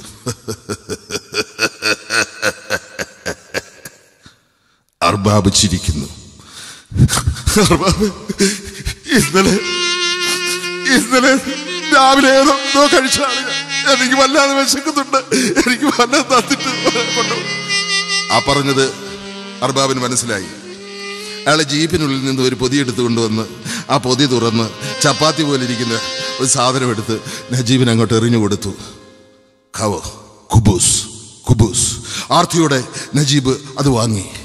അത് ഭക്ഷിക്കുമ്പോൾ അത് അവിടെ ഇരുന്ന് കടിച്ചു പറിച്ച് തിന്നുമ്പോൾ ആ വിശപ്പ് കൊണ്ട് അത് കടിച്ചു പറിച്ച് തിന്നുമ്പോൾ നജീബ് അതിന്റെ മനസ്സ് അതിന്റെ പേര് മനസ്സിൽ കുറിച്ചിട്ടു. കബാബ്. കബൂസ് കുബൂസ് കുബൂസ് പ്രിയമുള്ളവരെ ഈ സമയത്ത് ദാണ്ട് ആടിനെ തെളിച്ചു കൊണ്ടുപോയിട്ടുള്ള ആ ഭീകരരൂപിയും മടങ്ങി വരുന്നു. അയാൾ ആ കൂടാരത്തിന് സമീപത്തേക്ക് വന്നു. അയാൾക്കും കുറച്ച് കൊടുത്തു. കുറച്ച് കുബൂസ്. അയാളും അവിടെ ഇരുന്ന് ആ കുബൂസ് പച്ച ഒരു മൊന്തേ കുറച്ച് വെള്ളം എടുത്തുകൊണ്ട് വന്ന് ആ മണലിൽ കുത്തിയിരുന്ന്. ആ പച്ചവെള്ളത്തിൽ മുക്കി ആ കുബൂസ് സ്വാദിഷ്ടമായ ഭക്ഷണം പോലെ ഇതാ കഴിക്കുന്നു. അയാൾ പോയി കഴിഞ്ഞപ്പോൾ അർബാബ് ആ കൂടാരത്തിനുള്ളിലേക്ക് പോയി നീളമുള്ള ഒരു ലോഹ പോലുള്ള ഒരു വസ്ത്രമായിട്ട് തിരിച്ചു വന്നു. ആട്ടിടേന്റെ വസ്ത്രം. നജീബിന് നേരെ നീട്ടി. നജീബിന് നേരെ നീട്ടി. നജീബ് വാങ്ങിച്ചു. അഴിക്കാൻ അയാൾ ആഗ്യം കാണിച്ചു. നജീബ് ധരിച്ചിരിക്കുന്നത് ആദ്യമായി നജീബ് നാട്ടിൽ കൈലി മുണ്ടുമൊക്കെ കൊടുത്ത് നടന്ന നജീബാണ്. ഗൾഫിൽ വരുന്നതിന് വേണ്ടി ആദ്യമായി തയ്പ്പിച്ച പാന്റ് അഴിക്കടാ! ശീലാതി ശീലാതി അതങ്ങോട്ട് ധരിക്കാൻ പറയുകയാണ്. ശീലാതി നജീബ് ആദ്യം ഒന്ന് മടിച്ചു. പക്ഷെ അയാളുടെ അരയിൽ കിടക്കുന്ന ആ വീതിയേറിയ ബെൽറ്റിൽ തുകൽ ബെൽറ്റിലേക്ക് നോക്കിയപ്പോ അയാളുടെ കത്തുന്ന കണ്ണുകളിലേക്ക് നോക്കിയപ്പോ അറിയാതെ നജീബ് തന്റെ വസ്ത്രങ്ങൾ ശീലാവി ആ ഒറ്റ വസ്ത്രം ആട്ടിടേന്റെ വസ്ത്രം നജീബ് ധരിച്ചു. കൊള്ളാം. അയാൾ വീണ്ടും കൂടാരത്തിനുള്ളിലേക്ക് പോയി. ഒരറ്റം വളഞ്ഞ ഒരു നീണ്ട വടി കൊണ്ടുവന്ന് നജീബിന്റെ കയ്യിലേക്ക് കൊടുത്തു. ആട്ടിടേന്റെ ചെങ്കോൽ. ഇനി അയാളുടെ പിന്നാലെ പോയോ? ആ ഭീകര രൂപയുടെ പിന്നാലെ ആടിനെ തെളിച്ചുകൊണ്ട് പോയിക്കോ? നജീബ് ആ ഒറ്റ വസ്ത്രം ലോഹ പോലുള്ള ആട്ടിടേന്റെ ആ വേഷം ഒറ്റ വസ്ത്രമൊക്കെ ധരിച്ച് ആ ഒരറ്റം വളഞ്ഞ ആ വടിയൊക്കെ പിടിച്ച് ആ ഭീകര രൂപി ആടിനെ തെളിച്ചു കൊണ്ടുപോകുന്ന ആ ഭീകര രൂപിയുടെ പിന്നാലെ നടക്കാനൊരുങ്ങുമ്പോൾ അയാൾ തിരികെ വിളിച്ചു. നജീബ് ചെന്നു അവിടെ നിന്നു. അയാൾ കഴുത്തിൽ നിന്ന് അർബാബിന്റെ കഴുത്തിൽ ഒരു ബൈനോക്കുലർ കിടപ്പുണ്ട് നജീബ് അങ്ങനെയുള്ള സാധനം നേരത്തെ കണ്ടിട്ടില്ല. കളിപ്പാട്ടം കുട്ടികളുടെ കളിപ്പാട്ടത്തിന് ചില ഉത്സവത്തിനൊക്കെ പോകുമ്പോൾ കളിപ്പാട്ടം വിൽപ്പനക്കാരിൽ അതിന്റെ ഒരു ചെറിയ മോഡൽ കണ്ടിട്ടുണ്ട്. അതിന്റെ പേരെന്തുകൊണ്ടെന്ന് പോലും നജീബിന് അറിയില്ല. അയാൾ ആ ബൈനോക്കുലർ ഊരി നജീബിന്റെ കയ്യിലേക്ക് കൊടുത്തു. ഷുപ്പ് ഷുപ്പ് വെച്ച് നോക്ക് വെച്ച് നോക്ക്. ഷുപ്പ് നജീബ് ഉറയ്ക്കുന്ന കൈകൾ കൊണ്ട് അത് വെച്ച് നോക്കി. അങ്ങ് ദൂരെ കൂടി പോകുന്ന ആടുകളെ പോലും ആ ആടിന്റെ ശരീരത്തിലുള്ള പുള്ളിയും പോരും പോലും ദാണ്ട തൊട്ട് മുമ്പിൽ എന്നുള്ള എണ്ണം കാണാം. കൊള്ളാവോ? നജീബ് തലയാട്ടി. ഇതിങ്ങനെ അന്നേരെ ഇളതങ്ങ് വാങ്ങി. സ്വന്തം കഴുത്തിലിട്ടു. പിന്നെ കൂടാരത്തിനുള്ളിലേക്ക് പോയി തലയണയ്ക്കടിയിലിരുന്ന ഒരു ഡബിൾ ബാരൽ തോക്കുമായി തിരിച്ചു വന്നു. ആകാശത്ത് വട്ടമിട്ട് പറക്കുന്ന ഒരൊറ്റ പക്ഷിയെ ലക്ഷ്യമാക്കി അയാൾ ആ ഡബിൾ ബാരൽ തോക്കിന്റെ കാഞ്ചി വലിച്ചു.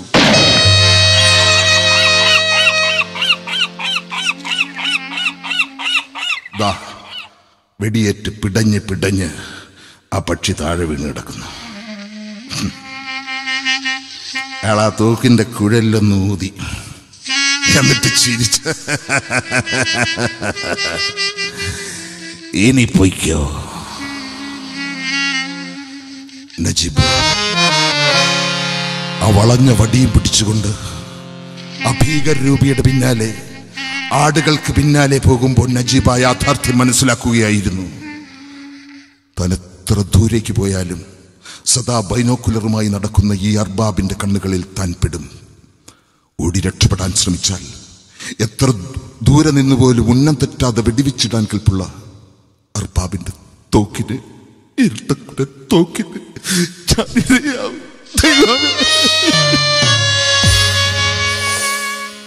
നജീബ് ആ വടിയൊക്കെ പിടിച്ച് ആ ഭീകരരൂപയുടെ പിന്നാലെ നടക്കുമ്പോൾ മസ്രയിലെ മരുഭൂമിയിലെ നജീബിന്റെ ആടുജീവിതം തുടങ്ങുകയായിരുന്നു. ജീവിതം ജീവിതം ആടുജീവിതം. ജീവിതം ജീവിതം അടിമ ജീവിതം. ഈ ആടുകളെ നടത്തിക്കൊണ്ട് പോകുന്നത് അതിനെ മേയ്ക്കാൻ കാനന ചോലയിൽ ആട് മേയ്ക്കാൻ എന്ന് ചെങ്ങമ്പുഴ എഴുതിയതുപോലെ അവിടെ മരുഭൂമിയിൽ ഈ വിശാലമായ മരുഭൂമിയിൽ ഒരു തരി പുല്ല് പോലുമില്ല ഒരു ചെറിയ വൃക്ഷം പോലുമില്ല. വിശാലമായി കിടക്കുന്ന മരുഭൂമിയിൽ തണൽ എന്ന് പറയുന്നത് ഇല്ലേ ഇല്ല. വിശാലമായ ആ മരുഭൂമിയിൽ തുറസ്സായിട്ടാണ് ആടുകളെ വളർത്തുന്ന ആ കമ്പിവേലിക്കുള്ളിൽ ആടുകളെ വളർത്തുന്ന ആ സംവിധാനമുള്ളത്. ആടുകളെ നടക്കാൻ കൊണ്ടുപോവുകയാണ് രാവിലെ. ഈ ആടുകൾ തിങ്ങി നിറ നിറങ്ങിനാണ് ഈ മസ്രയിൽ വളരുന്നത്. അതിന്റെ കാലൊക്കെ നൂരാൻ ഒന്ന് കൈയൊന്ന് നൂരാൻ ആദ്യം ചെയ്യുന്ന ഒരു പരിപാടിയാണ് ഒരു ഏർപ്പാടാണ്. അതിനെ കുറച്ച് ദൂരം ഒരു അറുപതോ എഴുപതോ ഉള്ള ഒരു സംഘമായിട്ട് അതിനെ ഇറക്കിക്കൊണ്ട് വന്ന് അതിനെ ഒന്ന് അര കിലോമീറ്റർ മരുഭൂമിയിലൂടെ ഒന്ന് ചുറ്റി നടത്തിക്കൊണ്ട് വന്നതിന് ശേഷം അവരെ ആ മസറയ്ക്കുള്ളിലേക്ക് കയറ്റുക. അടുത്ത ബാച്ചിന് അതാണ് ആ മസറയിലെ ആദ്യത്തെ പ്രഭാത ജോലി. അങ്ങനെ ഒരു പ്രാവശ്യം പോയി തിരിച്ചു വന്നപ്പോഴത്തേക്ക് കത്തിച്ചൊലിക്കുന്ന സൂര്യൻ. കയറി നിൽക്കാൻ ഒരു ചെറു കാക്കയ്ക്ക് ഇരിക്കാൻ പോലും ഒരു തണലില്ല. ചെറിയൊരു സ്ഥലം പോലും ഇല്ല. ആ സൂര്യൻ താപം നേരിട്ട് പതിക്കുകയാണ്. വെട്ടി വേർക്കാൻ തുടങ്ങി നജീബിനെ.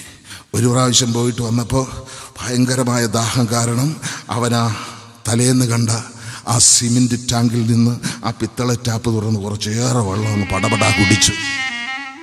ഒരു പ്രാവശ്യം കൂടെ പോയിട്ട് വന്നപ്പോഴത്തേക്ക് വീണ്ടും അവൻ തളർന്നു. വെള്ളം കുടിച്ചതെല്ലാം ആവിയായിട്ട് പോയി. വീണ്ടും വന്ന് അവൻ വെള്ളം കുടിച്ചു. ഇപ്പം അത് ആ സിമെന്റ് ടാങ്കിലുള്ള വെള്ളം അവിടുത്തെ ആ വെള്ളം ആ ചൂടെല്ലാം സൂര്യന്റെ താപമെല്ലാം ഏറ്റ് ഇപ്പോൾ ഒരു വാട്ടവെള്ളമായിട്ടുണ്ട്. അതങ്ങോട്ട് ഉള്ളിലേക്ക് അങ്ങോട്ട് ചെന്നപ്പോൾ രാവിലെ കഴിച്ച ആ ഗുബൂസും ആ വെള്ളവും ആ വാട്ടവെള്ളവും എല്ലാം കൂടെ അങ്ങോട്ട് വയറ്റി കിടന്നു ഇങ്ങോട്ട് പ്രശ്നം ഉണ്ടായപ്പോൾ നജീബിന് പ്രകൃതിയുടെ വിളി വന്നു. എടാ ഇവിടെ ഇവിടെ പോനാ മസറയ്ക്ക് പിന്നിൽ ഒറ്റ ഓട്ടം മാസം ഒറ്റ ഓട്ടം ചെന്ന് ആ മിസ മസറയ്ക്ക് പിന്നിൽ അവൻ പോയി കുത്തിയിരുന്ന് കാര്യം അങ്ങ് സാധിച്ചു.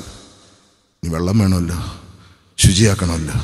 നേരെ തിരിച്ച് മസറയിലേക്ക് വന്ന് അവിടെ കണ്ട ഒരു ബക്കറ്റ് എടുത്ത് ആ വാട്ടർ ടാങ്കിൽ നിന്ന് കുറച്ച് വെള്ളവും പിടിച്ച് നജീബ് ആ ബക്കറ്റുമായിട്ട് ആ മസറയ്ക്ക് പിന്നിൽ അവിടെ പോയി ആ പഴയ സ്ഥാനത്ത് പോയി ആ മണലിൽ അവനെ കുത്തിയിരിക്കുന്നതിന് മുമ്പേ "ഹിമാർ!" കത്തുന്ന കണ്ണുകളുമായി അർബാബ് എടാ അയാൾ തന്റെ അരയിലുണ്ടായിരുന്ന ആ വീതിയേറിയ ബെൽറ്റ് അടിച്ചെടുക്കുകയാണ്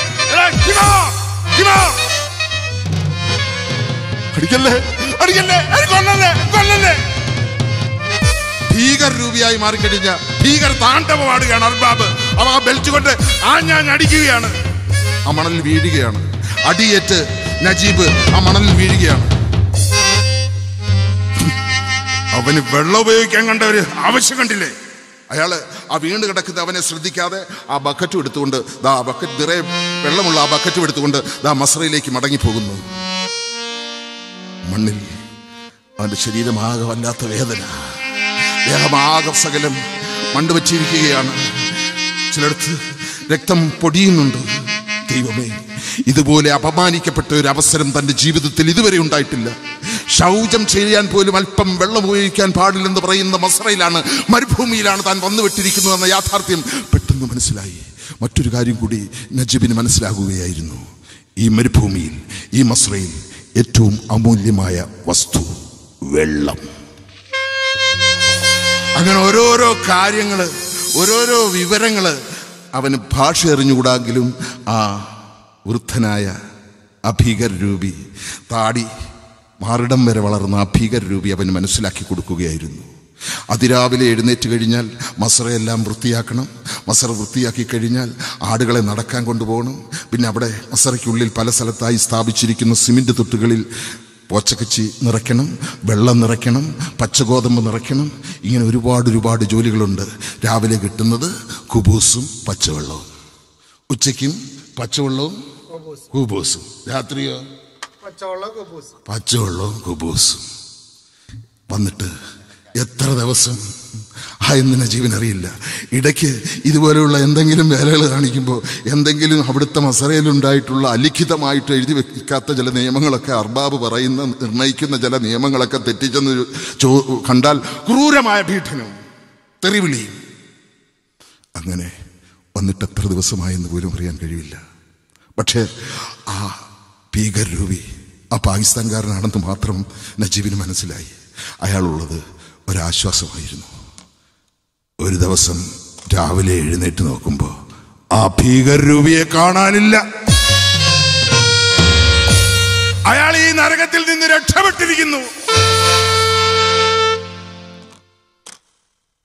അർബാബിനൊരു കുട- കുലുക്കവും ഇല്ല. അയാൾ പോയെങ്കിൽ എന്താ നീ നീയില്ല ഇവിടെ? അന്ന് മുതൽ നജീബിന് രണ്ടു പേർ ചെയ്ത് ജോലി ഒറ്റയ്ക്ക് ചെയ്യേണ്ടി വന്നു.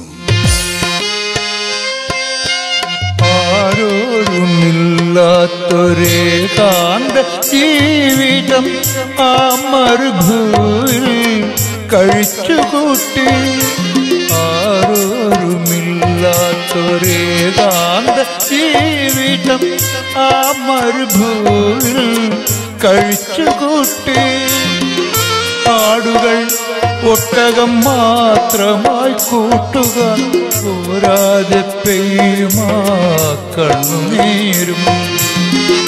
ആടുകൾ ഒട്ടകം മാത്രമായി കൂട്ടുക. പോരാതെ പെയ്യുമാ കണ്ണുനീരും. ആരോരുമില്ലാത്തൊരേ കാന്ത ജീവിതം ആ മരുഭൂവിൽ കഴിച്ചുകൂട്ടി ആടുകളെയും തെളിച്ചുകൊണ്ട് നജീബ് ഒരു ദിവസം മരുഭൂമിയിലേക്ക് അതിനെ നടക്കാൻ കൊണ്ടുപോകുമ്പോൾ അത് ആ കൂട്ടത്തിലുണ്ടായിരുന്ന ഒരു ഗർഭിണിയാട് രണ്ടു മൂന്ന് ദിവസമായിട്ട് നജീബ് ആ ആടിനെ ശ്രദ്ധിക്കുന്നുണ്ട്. അത് അതാ അവിടെ പിടഞ്ഞു വീഴുന്നു. നജീബ് നോക്കുമ്പോൾ അതാ അത് പ്രസവിക്കാനുള്ള തയ്യാറെടുപ്പിലാണ്. ഒരു ജീവനിൽ നിന്ന് മറ്റൊരു ജീവൻ പറഞ്ഞു വരികയാണ്. ആ സമയത്ത് ആ സമയത്ത് എന്തുകൊണ്ടോ നജീബ് സ്വന്തം പ്രിയതമേ സ്വന്തം സൈനുവിനെ ഓർത്തു എന്റെ ദൈവമേ ഇപ്പോൾ നാട്ടിൽ ഇതേ സമയം എന്റെ പ്രിയപ്പെട്ട ഭാര്യ സൈന്യവും ഇതേപോലെ പ്രസവവേദന കൊണ്ട് പിടയുകയായിരിക്കും. ശരിയാണ്. എത്ര ദിവസം കഴിഞ്ഞെന്ന് അയാൾക്കറിയില്ല. പക്ഷെ ഒരു അടയാളം പോലെ ഈ മരുഭൂമിയിൽ ഒടേ തമ്പുരാൻ തന്നെ ദൈവം തമ്പുരാൻ കാണിച്ചു തന്ന ഒരു അടയാളം പോലെ അയാൾക്ക് തോന്നുകയാണ്. മറ്റാടുകളൊക്കെ ചിതറി പല സ്ഥലങ്ങളിലായി പോകുന്നത് അയാൾ നജീബ് ശ്രദ്ധിച്ചതേയില്ല. നജീബ് ആ തള്ളയാട് ആ ഗർഭിണിയാട് അതാ ഒരു ഉദരത്തിൽ നിന്ന് മറ്റൊരു കുഞ്ഞിനെ പ്രസവിക്കുന്ന ആ കാഴ്ച നോക്കിക്കൊണ്ട് നിന്നു. ആ കുഞ്ഞ് പുറത്തേക്ക് വന്നപ്പോ ഇരു കരങ്ങളും നീട്ടി നജീബ് ആ കുഞ്ഞിനെ ഏറ്റുവാങ്ങി. വഴുവഴുപ്പുള്ള ആ കുഞ്ഞ് അതാ പെട്ടെന്ന് തറയിലേക്ക് വഴുതി പോയി അത് വേച്ചും കിതച്ചും ആ തള്ളയുടെ അകിട് ലക്ഷ്യമാക്കി അതാ നീങ്ങുന്നു. നജീബ് സൂക്ഷിച്ചു നോക്കി. അത്. ഒരാൺകുഞ്ഞാണ് ഒരാണാടാണ്. നജീബ് ഓടിച്ചെന്ന് അത് കുഞ്ഞിനെ എടുത്തു. പൊന്റെ പൊന്നു മോനെ എന്റെ നബീലെ. നാട്ടിലിപ്പോ ഭാര്യയ്ക്ക് ദൈവം ഒരു കുഞ്ഞിനെ കൊടുത്തു കാണും ഞാൻ പ്രതീക്ഷിച്ചിരുന്നത് പോലെ ഒരാൺകുഞ്ഞിനെ ഞാൻ അവരിടാനായിട്ട് കാത്തുവച്ചിരുന്ന പേര് എന്റെ പൊന്നുമോൻ ഇടാനായിട്ട് കാത്തുവച്ചിരുന്ന പേര് എന്റെ നബീലെ എന്റെ പൊന്നുമോനെ നബീലിന്റെ അനേക നാളുകളായി ഈ മസ്രയിൽ വന്നതിനു ശേഷം ആ ഹൃദയത്തിലുണ്ടായിരുന്ന ആ സ്നേഹ വാത്സല്യങ്ങളെല്ലാം ആ ആടിന്റെ നേർക്ക് ആ കുഞ്ഞാടിന്റെ നേർക്ക് ചെലുത്തുകയാണ് അയാൾ. ആ ആട്ടിൻ കുഞ്ഞിനെ കയ്യിലെടുത്തുകൊണ്ട് അയാൾ കുഞ്ഞിനെ എന്ന പോലെ സ്വന്തം കുഞ്ഞിനെ ഓമനിക്കുന്നത് പോലെ സ്വന്തം കുഞ്ഞ് നബീലിനെ ഓമനിക്കുന്നത് പോലെ താരാട്ട് പാടുകയാണ്. മകനായി പാർക്ക് പിറന്നു പൈതലേ നീ മകനായി പാർക്ക് മറുഭൂവിൽ പിറന്നു. ഈശ്വരൻ തന്ന നിധി നീ സ്നേഹവാത്സല്യം ഞാൻ നിനക്കേതാ ഈശ്വരൻ തന്ന നിധി നീ സ്നേഹവാത്സല്യം ഞാൻ നിനക്കേതാ പൈതലേ മകനായി പാരി പിറന്നു. എന്റെ പൊന്നു പോലെ എന്റെ നബിയിലെ ഈശ്വരനാണ്. ഇതുപോലെ ഇതേ ഒരു അവസരത്തിൽ നാട്ടിൽ എനിക്ക് പിറന്ന ആൺകുഞ്ഞിന് പകരമായിട്ട് ഈ മരുഭൂമിയിൽ എനിക്ക് കൂട്ടായിട്ട് എന്റെ പൊന്നു മോനായിട്ട് ഈശ്വരനാണ് നിന്നെ എനിക്ക് തന്നത്. എന്റെ പൊന്നു മോനെ നബിയിലെ നിന്റെ അമ്മയുടെ അകലിൽ നിന്ന് ഇഷ്ടം പോലെ ഇഷ്ടം പോലെ. നീ കുടിച്ചോ? ഒരു ചവിട്ടേറ്റ് നജീബ് അതാ തെറിച്ചു പോകുന്നു. അവിടെ കിടന്നവർ നിലവിളിക്കുകയാണ് അടിക്കുകയാണ്. എന്താണ് സംഭവിച്ചതെന്ന് നജീബിന് മനസ്സിലായില്ല. നജീബ് മസറയിലെ നിയമം തെറ്റിച്ചിരിക്കുന്നു. ഒരാട് പ്രസവിച്ചു കഴിഞ്ഞാൽ അതിന്റെ കുഞ്ഞിന് ഒരിക്കലും തള്ളയുടെ അകിടിൽ നിന്ന് പാൽ കൊടുക്കാൻ പാടില്ല. കുഞ്ഞിനെ അന്നേരം തന്നെ മാറ്റിക്കോണം. കറന്ന പാൽ മാത്രമേ കുഞ്ഞുങ്ങൾക്ക് കൊടുക്കാൻ പാടുള്ളൂ. അതായിരുന്നു മസറയിലെ നിയമം. ആ നിയമം നജീബ് തെറ്റിച്ചിരിക്കുന്നു. മാത്രമല്ല ഇവിടെ പ്രസവം എടുക്കാൻ അയാൾ നോക്കി നിൽക്കുമ്പോൾ ബാക്കിയുള്ള ആടുകളെല്ലാം മരുഭൂമി പല സഭ സ്ഥലത്തായിട്ട് ചിതറിപ്പോയിരിക്കുന്നു. അതുകൊണ്ടാണ് ആ തള്ളയാട് വാവിട്ട് കരയുകയാണ്. ആ കുഞ്ഞാടിനെ തോളിലേറ്റി അതാ നജീബിനെ ക്രൂരമായി മർദ്ദിച്ചതിന് ശേഷം ആ ക്രൂരനായ അർബാബ് നടന്നു പോകുന്നു. ആ കുഞ്ഞാടിനെ തോളിലിട്ടുകൊണ്ട് തള്ളയാട് കിടന്ന് അവിടെ നിലവിളിക്കുന്നു. എടാ പോകുന്നതിന് മുമ്പ് എല്ലാത്തിനെയും ഒരെണ്ണം കാണാതെ പോരുത്. എല്ലാത്തിനെയും കൊണ്ടുവന്നേക്കണം. മണലിൽ വേദനയോടെ ചത്തവാർ പോലെയുള്ള ആ ബെൽറ്റടിയേറ്റ് വേദനയോടെ ജീവ എഴുതാക്കാൻ നോക്കി. ഇല്ല. പൊട്ടിയൊലിക്കുന്നുണ്ട് ചിലയിടത്ത് ചോര വരുന്നുണ്ട്. പക്ഷെ ആടുകൾ ഇതെല്ലാം ചിതറിത്തെറിച്ച് ആ മരുഭൂമിയുടെ പല ഭാഗത്തായിട്ട് പോയിരിക്കുന്നു. ഇഴഞ്ഞിഴഞ്ഞ് എല്ലാ ആടുകളെയും ഒരുമിച്ച് ആ മസറയിലേക്ക് കൊണ്ടുവന്നു. മസറയിലെത്തിയപ്പോ നജീബിനെ പിടിച്ച് ആ മസറയിലേക്ക് അർബാബാങ് തള്ളി. ഇവിടെ കട. നിനക്ക് നിലവാരം തരില്ല. ഇവിടെ കട. അന്ന് രാത്രി കുടിക്കാൻ ഒരു തുള്ളി വെള്ളം പോലും നജീബിന് കൊടുത്തില്ല. പരമകാരുണ്യനായ ദൈവമേ ഒരു മിണ്ടാപ്രാടിയോട് കാണിച്ച സ്നേഹത്തിന് ഇയാൾ എന്നോട് കാണിച്ചത് നോക്കൂ. ഞാനിത് സഹിക്കാം. ഇതുപോലുള്ള പീഡനങ്ങൾ ഇതുപോലുള്ള മർദ്ദനങ്ങൾ ഞാൻ സഹിക്കാം. പക്ഷേ എന്റെ പ്രിയപ്പെട്ട ഭാര്യ അങ്ങ് നാട്ടിലുണ്ട്. അവളിപ്പോൾ ഒരു കുഞ്ഞിനെ പ്രസവിച്ചിട്ടുണ്ട്. അങ്ങയുടെ കരങ്ങളിൽ അങ്ങയുടെ തൃക്കരങ്ങളിൽ ഞാൻ അവളെ സമർപ്പിക്കുകയാണ്. അവളെ നോക്കിക്കോളുന്നത് ദിവസങ്ങൾ ഓരോന്നോരോന്നായി കടന്നു പോവുകയാണ്. പകലൊക്കെ വല്ലാത്ത ചൂട് ചുട്ടുകൊള്ളുന്ന ചൂടാണ് മരുഭൂമിയിൽ. രാത്രിയാണെങ്കിൽ വല്ലാത്ത തണുപ്പും മരം കോച്ചുന്ന തണുപ്പ്. അത് രാവിലെ എഴുന്നേക്കണം. പക്ഷേ മഴ എന്ന് പറയുന്ന ഒരു വസ്തു മരുഭൂമിയിൽ ഇത്രയും നജീബ് ഇവിടെ മരുഭൂമിയിൽ വന്നിട്ട് ഇപ്പോൾ എത്ര നാളുകൾ അവിടെ കലണ്ടർ നോക്കാനില്ല. ഓരോ ദിവസം പുലരുന്നു ഓരോ ദിവസവും ഇരുളുന്നു പുലരുന്നു ഇരുളുന്നു ഇരുളുന്നു പുലരുന്നു. എത്ര നാളുകൾ കടന്നുപോയെന്ന് അവനറിയില്ല. ഒരു ദിവസം ആടുകളെയും കൊണ്ട് ഒരു ഉച്ച സമയത്തൊന്ന് നടക്കാൻ പോയിട്ട് വന്നപ്പോൾ അന്തരീക്ഷം ആകെ ആകെ ഇരുണ്ടുകൂടി.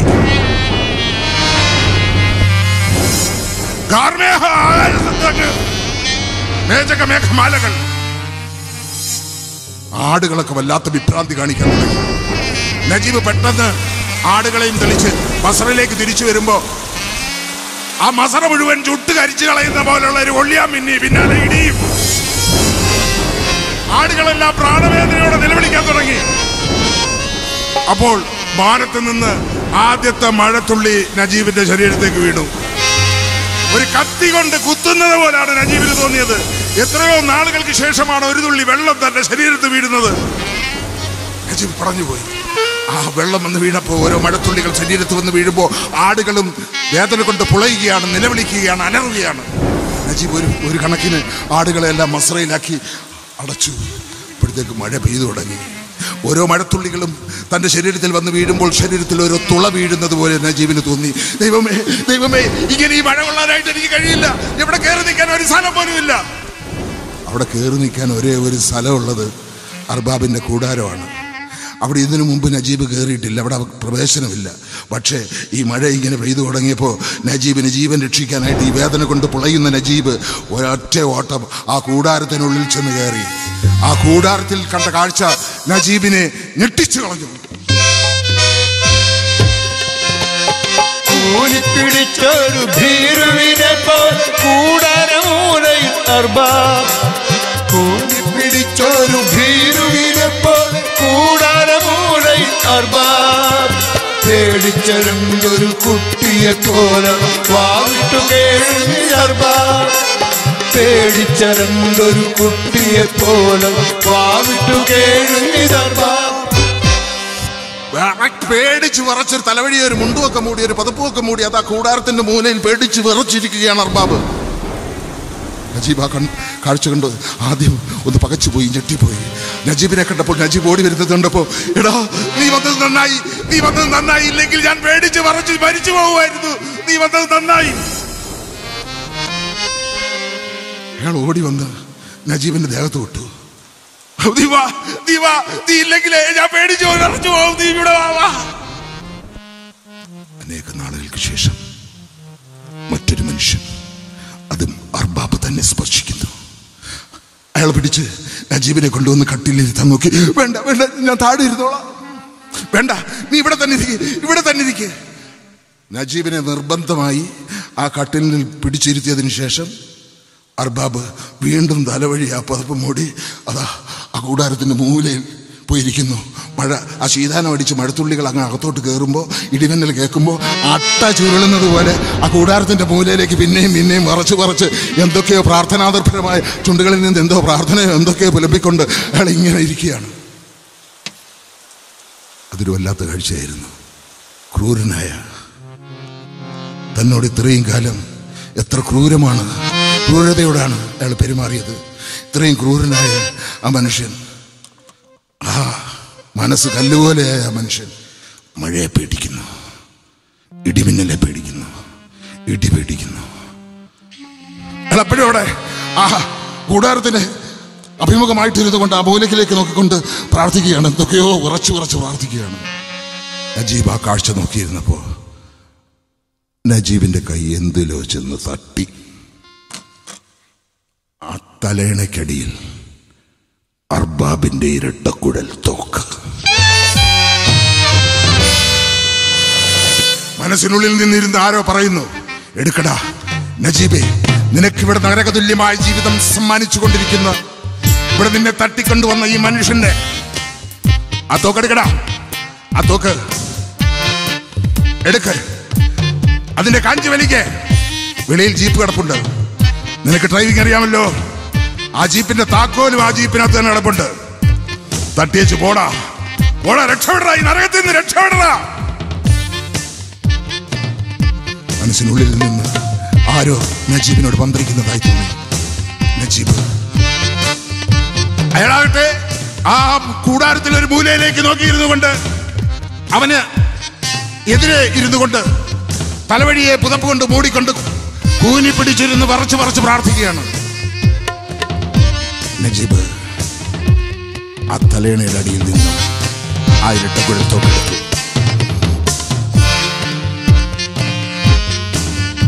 തനിക്ക് കിട്ടിയിരിക്കുന്ന വീണ് കിട്ടിയിരിക്കുന്ന ഒരവസരം. നജീബ് പതിയെ ആ തോക്കും ഉയർത്തി.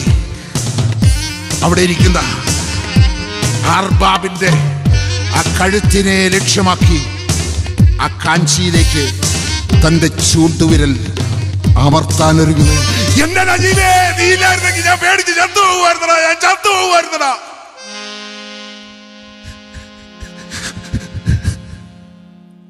അനേക നാളുകൾക്ക് ശേഷം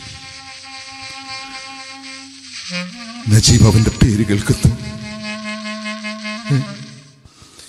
ഈ അർബാബിന് എന്റെ പേരറിയാമായിരുന്നു. ഞാൻ തന്നെ പറത്തു തുടങ്ങി. എന്റെ പേര്? പേടിച്ച് തന്നെ ഇരിക്കണ്ടടാ. ഇവിടെ ഇരുന്ന് പ്രാർത്ഥിക്കണ്ടടാ. തന്നെ ഇരിക്കടാ നജീബിന്റെ കയ്യിൽ നിന്ന് ആ തോക്ക് താഴെ വീണു.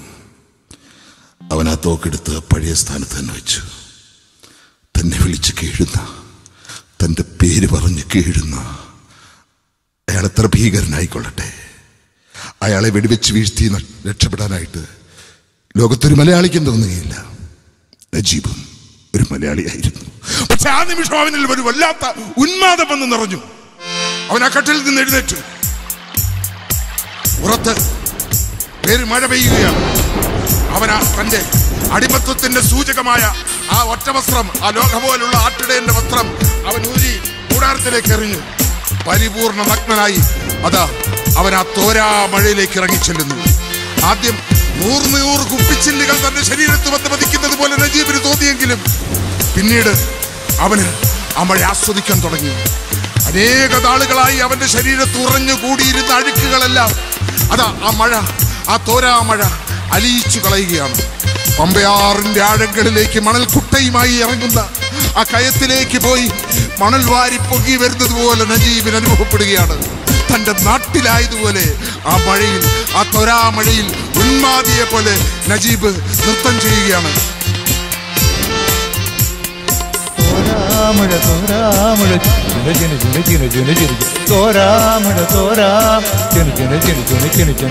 തോരാമഴ അഴുകുടു പെയ്തൊഴി തോരാം ചിന ചിന അഴുകുടു തോരാം തോരാം.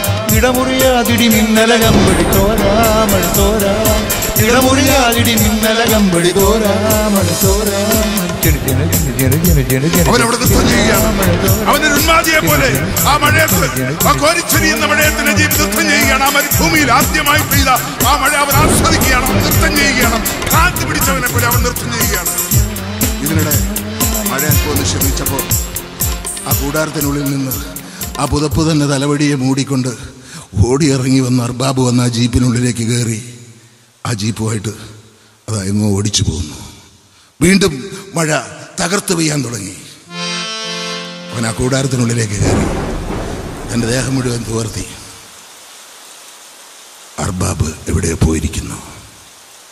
താൻ തനിച്ചായിരിക്കുന്നു. ഈ മസ്രയിൽ ഞാൻ ഒറ്റയ്ക്കായിരിക്കുന്ന ഒരു ദിവസം സന്ധ്യയായിരിക്കുന്നു. രക്ഷപ്പെടാം. ആരും ചോദിക്കാനില്ല. ആരും പറയാനില്ല. പേടിച്ച് വിരണ്ട അർബാബ് എവിടെയോ രക്ഷപ്പെട്ടിരിക്കുന്നു. ജീപ്പിൽ കയറി രക്ഷപ്പെട്ടിരിക്കുന്നു. വേണമെങ്കിൽ തനിക്ക് രക്ഷപ്പെടാം. പക്ഷെ രക്ഷപ്പെടുന്നതിന് മുമ്പ് അതിനു മുമ്പ് എന്നെ ഏൽപ്പിച്ചു വിട്ടു. അവിടെ പോച്ചക്കച്ചിയുമായിട്ട് വരുന്ന ഒരു പാകിസ്ഥാനിയോട് ട്രാക്ടറിൽ വരുന്ന ഒരാളോട് സംസാരിച്ചതിൽ നിന്ന് അഖിൻ ഒരു കിലോമീറ്റർ അകലെയുള്ള മറ്റൊരു മസ്രയിൽ ഇതുപോലെ ഇവനെ പോലെ പീഡനങ്ങൾ ഏറ്റുവാങ്ങിക്കൊണ്ട് അവിടെ ജീവിക്കുകയാണെന്ന് ജീവൻ മനസ്സിലായിരുന്നു. അതെ ഹക്കിമിനെ കാണണം. വീണ്ടും മഴ തകർത്തു പെയ്തു തുടങ്ങി. ആ മഴയിലൂടെ നജീബ് ഓടുകയാണ്.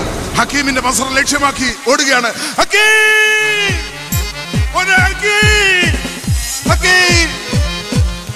ഓടുകയായിരുന്നു. ആ മഴയിൽ നജീബ് ഓടുകയായിരുന്നു. ഒടുവിലവൻ ആ മസറയിൽ എത്തിച്ചേർന്നു. അഖീമിന്റെ മസറ. അത് വെളിയിൽ നിന്ന് അതിന്റെ ഗേറ്റുകൾ വിശാലമായ ആ മസറയുടെ ഗേറ്റുകൾ പൂട്ടിയിരിക്കുന്നു. അവൻ ആ ഗേറ്റിൽ പിടിച്ചു കുലുക്കി. ഇവിടെ ആരുമില്ലേ? ഇവിടെ ആരുമില്ലേ? ഒരു പ്രതിഫലനവുമില്ല അവിടുന്ന് ആരും സംസാരിക്കുന്നില്ല ആരും പറയുന്നില്ല. ഹലോ? ആരുമില്ലേ നജീബ് ഹക്കീമേ നിന്റെ നജീബിക്ക നീ ഉണ്ടോടാ നമ്മൾ വന്ന് ഒരുമിച്ച് വന്ന ഓർമ്മയില്ലേ? മോനെ നീ വാ നിന്റെ നജീബിക്ക. ഒരു പ്രതികരണവും ആ മസ്രയിൽ നിന്ന് കേൾക്കാതെ വന്നപ്പോൾ നിരാശനായി ഹതാശനായി തിരിഞ്ഞു നടക്കാൻ ഒരുങ്ങിയ നജീബ് തിരിയാനൊരുങ്ങുമ്പോഴാണ് അവിടെ ആ മസറയ്ക്കുള്ളിൽ ഒരു നിഴൽ രൂപം. ഹക്കീമേ മോനെ ഇത് നീയാണോടാ? ഇത് ഞാനാടാ. നിന്റെ രാജീവിക്ക പെട്ടെന്നൊരു മിന്നൽ. പ്രകാശമാനമായി ആ മസറ മുഴുവൻ പ്രകാശമാനമായി. ആ രൂപം ആ നടന്നു വരുന്ന രൂപം വളരെ വ്യക്തമായും കൃത്യമായും നജീബ് കണ്ടു. മാർവിടം വളർന്ന വളർന്ന തലം ജടപിടിച്ച തലമുടി. കയ്യിലെ നീണ്ട് വളഞ്ഞ നഖങ്ങൾ. ഒറ്റക്കുപ്പായ ഇല്ല. ഇതെന്റെ ഹക്കീമല്ല. എന്റെ ഹക്കീം ഒരു സിനിമാ താരത്തെ പോലെ സുന്ദരനായിരുന്നു. ഹേയ്. ഹക്കീം എന്ന് ഒരാൾ ജോലി ചെയ്തതായിട്ട് നിങ്ങൾക്കറിയാമോ? ഞാൻ നജീബ്. ഞങ്ങൾ രണ്ടുപേരുമിച്ചാണ് കേരളത്തിൽ നിന്ന് വന്നത്. ഞങ്ങൾ രണ്ടുപേരെയും തെറ്റായിട്ട് പിടിച്ചു കൊണ്ടുവന്ന് ഇവിടെ കൊണ്ടുവന്ന് മസ്ലയിലാക്കുകയായിരുന്നു ഞാനിവിടെ. ഞാനവിടെ. ഹക്കിം ഇവിടെ. നിങ്ങൾക്കറിയാമോ? ഹക്കിം ഇപ്പൊ എവിടെയാണെന്ന് നിങ്ങൾക്കറിയാമോ? ഒരു പ്രതിമ പോലെ നിൽക്കുകയാണ് ആ രൂപം. ആ രൂപത്തിൽ നിന്ന് ഒരു പ്രതികരണം ഉണ്ടാകുമ്പോ ഉണ്ടാകാതിരുന്നപ്പോ നിരാശനായി വീണ്ടും നജീബ് തിരിഞ്ഞു നടക്കുമ്പോ എന്റെ നജീവിക്ക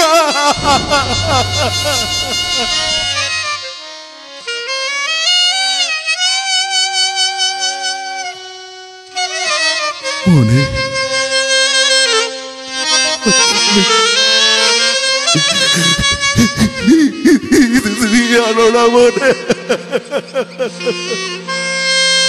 നജീബിന്റെ കരങ്ങൾ ആ ഗേറ്റിന്റെ ഇവിടെയിലൂടെ ഉള്ളിലേക്ക് കടന്നു. ഹക്കീമിന്റെ അബല്ലിച്ച കരങ്ങൾ എന്താണ്ട് ആ ഗേറ്റിൽ വിടവിലൂടെ പുറത്തേക്ക് വരുന്നു. അപ്പുറവും ഇപ്പുറവും നിന്ന് ആ ഗേറ്റിനപ്പുറവും ഇപ്പുറവും നിന്ന് അവർ ഹക്കീമും നജീബും പരസ്പരം ആശ്ലേഷിച്ചു. കര കാണാത്തൊരു കഥന കടൽ ഇരു ഹൃദയങ്ങൾ തേങ്ങി കര കാണാത്തൊരു കഥന കടൽ ഇരു ഹൃദയങ്ങൾ തേങ്ങി എവിടെ അകലങ്ങളിലോ അലറും തിരകൾ പൊങ്ങി. എവിടെ തീരം അകലങ്ങളിലോ അലറും തിരകൾ പൊങ്ങി. കര കാണാത്തൊരു കഥന കടൽ ഇരുഹൃദയങ്ങൾ തേങ്ങി.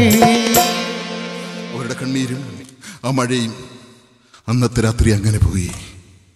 ആ മഴയൊക്കെ അങ്ങോട്ട് കഴിഞ്ഞപ്പോഴത്തേക്ക് അന്ന് ഹക്കീമില്ലാതെ രക്ഷപ്പെടാനായിട്ട് നജീബിന് തോന്നിയില്ല. നജീബ് സ്വന്തം മസറയിലേക്ക് തിരിച്ചു വന്നു.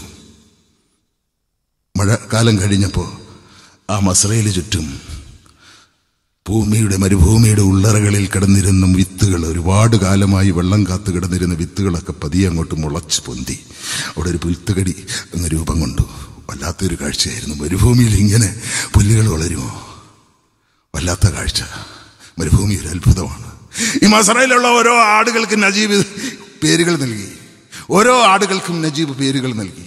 താൻ ഇഷ്ടപ്പെട്ട സിനിമാ നടന്മാരുടെ പേരുകൾ തന്റെ ക്ലാസ്സിൽ പഠിച്ച കുട്ടികളുടെ പേരുകൾ ഓരോ സ്വഭാവം അനുസരിച്ച് നജീബിന്റെ മൂന്നാം ക്ലാസ് വരെ നജീബിന്റെ ക്ലാസ്സിൽ പഠിച്ചിരുന്ന സുന്ദരിയായ ഒരു പെൺകുട്ടി ഉണ്ടായിരുന്നു മൈമുന. ആ കൂട്ടത്തിലുള്ള ഏറ്റവും സുന്ദരിയായ ആടിന് ആ പേരാണ് നൽകിയത് മൈമുന. മോഹൻലാൽ ഒരല്പം ചരിഞ്ഞ് കിടക്കുന്ന ഒരാട് അതിന് വിട്ടത് മോഹൻലാൽ എന്നായിരുന്നു. ജഗതിയുണ്ട് ജഗദീഷുണ്ട് ശാരദയുണ്ട് ഭവാനിയുണ്ട് അടൂർ ഭവാനിയുണ്ട്. എല്ലാവരും ജയഭാരതിയുണ്ട്. അങ്ങനെ നാട്ടിൽ പറയുന്നത് എല്ലാവർക്കും ഇതിനിടയ്ക്ക് തൻ പാൽ കടി പാൽ കറക്കാനായിട്ട് നജീബിനെ അറി അറി പഠിച്ചിട്ടൊന്നുമില്ല. നജീബിനെ പഠിപ്പിച്ചത് ആ പഴയ അവിടെ കാണാതായ ആ ഭീകര രൂപയാണ് അതിനുവേണ്ടി ഒരാടുണ്ടായിരുന്നു. പാൽ കറക്കുന്നതിന് വേണ്ടി പഠിക്കുന്നതിന് വേണ്ടി ഒരു പ്രത്യേക ആട്. ആദ്യം അവനെ ഒന്ന് തൊഴിക്കുകയും ഇടിക്കുകയൊക്കെ ചെയ്തെങ്കിലും പിന്നെ സ്വതയോടെ നിന്ന് കൊടുത്തു നാട്ടിലെ ഒരു പെണ്ണിന്റെ പേരാണ് ആടിനിട്ടത്. പോച്ചക്കാരി രമണി.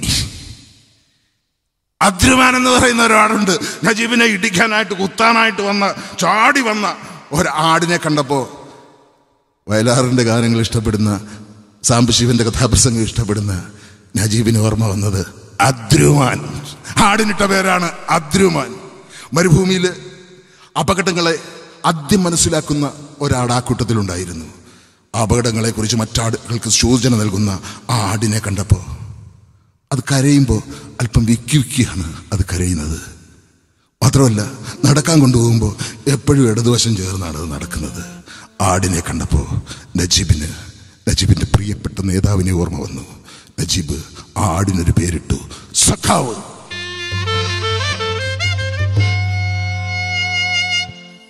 ആടുകളെയും നടത്തുന്ന പതിവ് പോലെ നടത്തുന്നതിന് വേണ്ടി നജീബ് മരുഭൂമിയിലൂടെ ആടുകളുടെ പിന്നാലെ പോകുമ്പോൾ തന്റെ ഉമ്മ തന്നെ വിളിക്കുന്നതിനായി നജീബിന് തോന്നി. മോനെ നജീബ് എത്ര നാളായി മോനെ നിന്നെ ഒന്ന് കാണാനായിട്ട് കണ്ണു കൊതിച്ചൂടെ കാത്തിരിക്കുക എന്ന് ഒരു വിവരമില്ലല്ലോ മോനെ. എന്ത് പറ്റി മോനെ? നിന്നെ കണ്ടിട്ടൊന്ന് മരിക്കണമെന്ന് ഈ ഉമ്മായിക്കൊരു ആഗ്രഹം? നോക്ക് എന്റെ ഈ കഴിച്ച് ഈ കാത് നോക്ക്.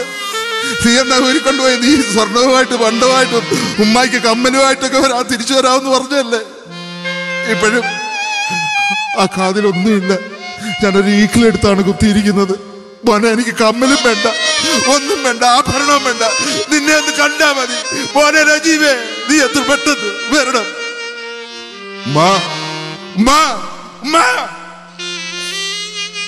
ചുറ്റും നോക്കി. ആരുമില്ല. തന്റെ മനസ്സിൽ നിന്ന് തോന്നുകയാണ് അങ്ങ് ദൂരെ ജീപ്പിന് മുകളിലിരുന്ന് ആ മസറയ്ക്ക് മുമ്പിൽ ബൈനോക്കുലറിലൂടെ പരിസരം വീക്ഷിച്ചുകൊണ്ടിരിക്കുന്ന അർബാബ്. അപ്പൊ വീണ്ടും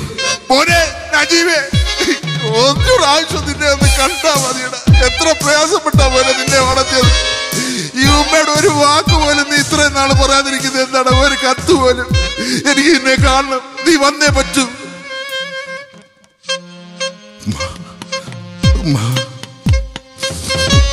നജീബ് വരികയാണുമ്പ നജീബ് വരികയാണുമ്പ ഉമ്മ. നജീബ് നോക്കുമ്പോ ഈ വശത്തേക്ക് ശ്രദ്ധിക്കാതെ വേറെ ഗോ ശ്രദ്ധിച്ചുകൊണ്ടിരിക്കുകയാണ് അർബാബ്. നജീബ് ഉയർന്നു നിൽക്കുന്ന ഒരു മണൽക്കുന്നിനെ ഓരം പറ്റി ആടുകളെ ഉപേക്ഷിച്ച് അതാ ഓരം പറ്റി ആ മണൽക്കുന്നിന് സമീപം ചെന്ന് നിന്നു. ഇല്ല. അർബാബ് ശ്രദ്ധിക്കുന്നില്ല. പിന്നെ സർവശക്തിയും സംഭരിച്ചുകൊണ്ട് അതാ കുതിച്ചു പായുകയാണ് നജീബ്.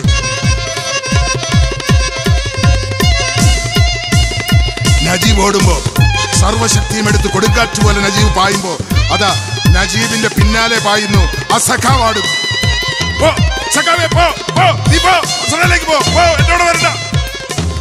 എത്ര അടിച്ചോടിച്ചിട്ട് ആ നജീബ് ഓടുന്ന അതേ വേഗതയിൽ കുതിച്ചോടുകയാണ് ആ സഖാവാട്. കുറെ ദൂരം പിന്നിട്ട് കഴിഞ്ഞപ്പോ അതാ പിന്നിൽ ജീപ്പിന്റെ ശബ്ദം. അർബാബ് അർബാബ് അവനെ കണ്ടിരിക്കുന്നു. അർബാബ് പിന്നാലെ ജീപ്പ് അവിടെ എന്റെ ഉമ്മയെ കാണാൻ പോകുമ്പോ ഞാൻ നിൽക്കാനോ ഇല്ല എന്നെ കൊന്നാലും ഞാൻ നിൽക്കില്ല സർവശക്തി എടുത്ത് നജീവ് വീണ്ടും ഓടുകയാണ്. മുന്നോട്ട് പായുകയാണ്. അർബാബ് തന്റെ കയ്യിലിരുന്ന ഇരട്ട കുഴൽ തോക്ക് ഒരു കൈ കൊണ്ട് സ്റ്റിയറിംഗ് നിയന്ത്രിച്ചുകൊണ്ട് മറു കൈയിലിരുന്ന ഇരട്ട കുഴൽ തോക്ക് കൊണ്ട് ആകാശത്തേക്ക് ഒരു വെടിവെച്ചു. ആ വെടിയുടെ ശബ്ദം കേട്ടിട്ടും നജീബ് നിന്നില്ല. നജീബ് സർവശക്തിയും എടുത്ത് കുതിക്കുകയാണ്. ആ കുതിപ്പിൽ അതാ പിന്നാലെ അസഖാവാടും സഖാവാടും ഒടുവിൽ അർബാബ് അജീബ് അവിടെ നിർത്തി. തന്റെ കയ്യിലിരുന്ന് ഇരട്ടക്കുടൽ തോക്ക് ആ ഓടുന്ന നജീബിന്റെ കടുത്തിനെ ലക്ഷ്യമാക്കി. അതാ ആ ഡബിൾ ബാരൽ തോക്കിന്റെ കാഞ്ചി ആഞ്ഞു വലിക്കുന്നു ഒരു ഭീകരമായ ആർത്തനാദത്തോടെ സഖാവാട് കുതിച്ചു ചാടി അതാ നജീബിന്റെ മുകളിൽ വീഴുന്നു. നജീബും ആ മണലിൽ കമന്നു വീണു. നോക്കുമ്പോ ആ സഖാവാടിന്റെ ദേഹത്തു നിന്ന് മോട്ടറിൽ നിന്ന് വെള്ളം ചീറ്റുന്നത് പോലെ രക്തം ചീറുകയാണ്. ആ സഖാവാട് വീണ്ടും എഴുന്നേൽക്കുകയാണ്. കുതിക്കുകയാണ് മുമ്പോട്ട് കുതിക്കുകയാണ്. ഒറ്റ കുതിപ്പ്. കുറച്ച് മുമ്പിൽ ചെന്ന് അതാ ആ ആട് പിടഞ്ഞ് പിടഞ്ഞ് മരിക്കുന്നു. നജീബ് ഒരു നിമിഷം ആ കാഴ്ച നോക്കി നിന്നു. അതാ ദീനതയുടെ ആ സഖാവാടിന്റെ കണ്ണുകൾ എന്നേക്കുമായി അടയുന്നു. തനിക്ക് വേണ്ടി ജീവൻ വിലയർപ്പിച്ച സഖാവാട്. ഈ സമയത്ത് അതാ ജീപ്പ് അവിടെ വന്ന് നിന്നു. ഓടിച്ചെന്ന് നജീബ് അർബാബിന്റെ കാൽക്കൽ ചെന്ന് വീണു എന്നെ കൊല്ലല്ലേ? എന്നെ കൊല്ലല്ലേ? പന്ന ഹിവർ, കാഫിർ." ആ തോക്കിന്റെ പാത്തി കൊണ്ട് തലയ്ക്ക് നജീബിന്റെ തലയ്ക്ക് ആ ഞാൻ അടിക്കുകയാണ്. നിന്നെ വേണ്ട അവിടെ. നിന്നെ ഇനി വേണ്ട. തല പൊട്ടി ചോരയൊഴുകയാണ് ബോധരഹിതനായി അതാ നജീബ് താഴെ കിടക്കുന്നു. കുറച്ചപ്പുറത്ത് മാറി വെടിയേറ്റ് മരിച്ച സഖാവാട് അർബാബ് ആടിനെ എടുത്ത് ആ പിക്കപ്പ് വാന്റെ പുറയിലേക്ക് ഇട്ടു പിന്നെ ബോധരഹിതനായി കിടക്കുന്ന നജീബിനെയും വലിച്ച് ആ വാനിലേക്ക് ഇട്ടു നേരെ മസറയിലേക്ക് ചെന്നു. അന്ന് വീണ്ടും പഴയതുപോലെ കുറ്റം ചെയ്തപ്പോൾ നജീബിന് കൊടുക്കാറുള്ള ആ പഴയ ശിക്ഷ ആ മസറയ്ക്കുള്ളിലേക്ക് തള്ളി ആ മസറ പൂട്ടി. സഖാവാടിനെ വലിയൊരു തീക്കുണ്ട ഉണ്ടാക്കി അന്ന് രാത്രി അയാൾ ചുട്ടു തിന്നു. അന്ന ദിവസം ജലപാനം നൽകിയില്ല. അടുത്ത ദിവസം. അടുത്ത ദിവസവും മസറിലൊരു ഒരു പരിപാടിയും നടന്നില്ല. ആടുകളൊക്കെ ബഹളം ഉണ്ടാക്കിയിട്ടും മസ്രയിൽ ഒരു ജോലിയും നടന്നില്ല. നജീബിനെ തുറന്നു വിട്ടില്ല. നജീബിന്റെ രണ്ട് കൈകളും രണ്ട് കാലുകളും ബന്ധിച്ചാണ് തുണി കൊണ്ട് ബന്ധിച്ചാണ് അയാൾ മസ്രയിലേക്ക് തള്ളിയിരിക്കുന്നത്. അവൻ അനങ്ങാൻ വയ്യ. മൂന്നാം ദിവസം രാത്രി നജീബ് കണ്ണുറന്നു. രണ്ട് ദിവസമായിട്ട് ഒരൊറ്റ തുള്ളി വെള്ളം പോലും അവൻ കുടിച്ചിട്ടില്ല. ഇനിയും ഇങ്ങനെയാണെങ്കിൽ തന്റെ ജീവൻ തന്നെ നഷ്ടപ്പെടുമെന്ന് നജീബിന് തോന്നി. ആ കൂടാരത്തിൽ വിളക്കണഞ്ഞപ്പോൾ നജീബ് ആ മണലിൽ കൂടി ആ മസറയിൽ കൂടി ഇഴഞ്ഞിഴഞ്ഞ് ആ ഗേറ്റിന് സമീപത്തേക്ക് ചെന്നു. ആ ഗേറ്റിനപ്പുറത്തേക്ക് അപ്പുറത്ത് ആ വലിയ സിമെന്റ് ടാങ്ക് കാണാം. പക്ഷേ ഗേറ്റ് ആ വലിയ ഗേറ്റ് വിളയിൽ നിന്ന് പൂട്ടിയിരിക്കുകയാണ്. വയ്യ. വലിഞ്ഞു കയറാനുള്ള ശക്തി അവനിൽ ശേഷിച്ചിട്ടില്ല. ഒരു തുള്ളി വെള്ളമെങ്കിലും കിട്ടിയില്ലെങ്കിൽ രണ്ടു ദിവസമായിട്ട് കഠിനമായ സൂര്യതാപമേറ്റ് അവന്റെ ശരീരത്തിലെ വെള്ളം മുഴുവൻ ഇതിന് വലിച്ചെടുത്തിരുന്നു. ഒരു തുള്ളി വെള്ളമെങ്കിലും കിട്ടിയില്ലെങ്കിൽ ഞാൻ മരിച്ചു പോകും. ഞാൻ മരിച്ചു പോകും. നജീബ് എങ്ങനെയോ തന്റെ കൈകളിലും കാലുകളിലും ഉണ്ടായിരുന്ന ആ തുണി അഴിച്ചു മാറ്റി പിന്നെ പതിയെ ഇഴഞ്ഞിഴഞ്ഞ് ആടുകൾക്ക് കൊടുക്കുന്നതിന് വേണ്ടി വെള്ളം സൂക്ഷിച്ചിരിക്കുന്ന ആ സിമെന്റ് തൊട്ടിയിലേക്ക് ചെന്നു രണ്ട് ദിവസമായി അത് നിറയ്ക്കാത്തത് കാരണം അതിന്റെ അടി പറ്റി. എന്തോ ഒരു കുറച്ചു തുള്ളി വെള്ളം മാത്രമേ അതിൽ ശേഷിച്ചിട്ടുള്ളൂ. എഴുന്നേക്കാൻ വയ്യ. നജീബ് ഒരു രീതിയിൽ തലയകത്തേക്കിട്ട് ആ വെള്ളം ആടുകൾ നക്കി കുടിക്കുന്നത് പോലെ നജീബ് നക്കി നക്കി കുടിച്ചു. പച്ച ഗോതമ്പ് സിമെന്റ് തൊട്ടിയിൽ ചിതറിക്കിടക്കുന്ന ആടുകൾ തിന്നതിന്റെ അവശേഷിച്ച ആ പച്ച ഗോതമ്പ് വിറയാർന്ന കരങ്ങൾ കൊണ്ട് തടുത്തുകൂട്ടി ജീവാർത്തിയോടെ ആ പച്ച ഗോതമ്പ് ഭക്ഷിച്ചു. രാത്രി വളർന്നപ്പോ വല്ലാത്ത തണുപ്പ്. വല്ലാത്ത തണുപ്പ് അതിശക്തമായ തണുപ്പ്. ഈ തണുപ്പ് ഇല്ല. ഈ രാത്രിയെ അതിജീവിക്കണമെങ്കിൽ നജീബ് പതിയെ പതിയെ ഇഴഞ്ഞ് ചെമ്മരിയാടുകളെ പാർപ്പിച്ചിരിക്കുന്ന ആ കള്ളിയിലേക്ക് കയറി ഒരു ചെമ്മരിയാടിനെ കെട്ടിപ്പിടിച്ച് അതിന്റെ ചൂടേറ്റ് ആ രാത്രി കഴിച്ചുകൂട്ടി ആടുകൾക്കിടയിൽ മറ്റൊരാടായി നജീബിന്റെ ആടുജീവിതം തുടരുന്നു.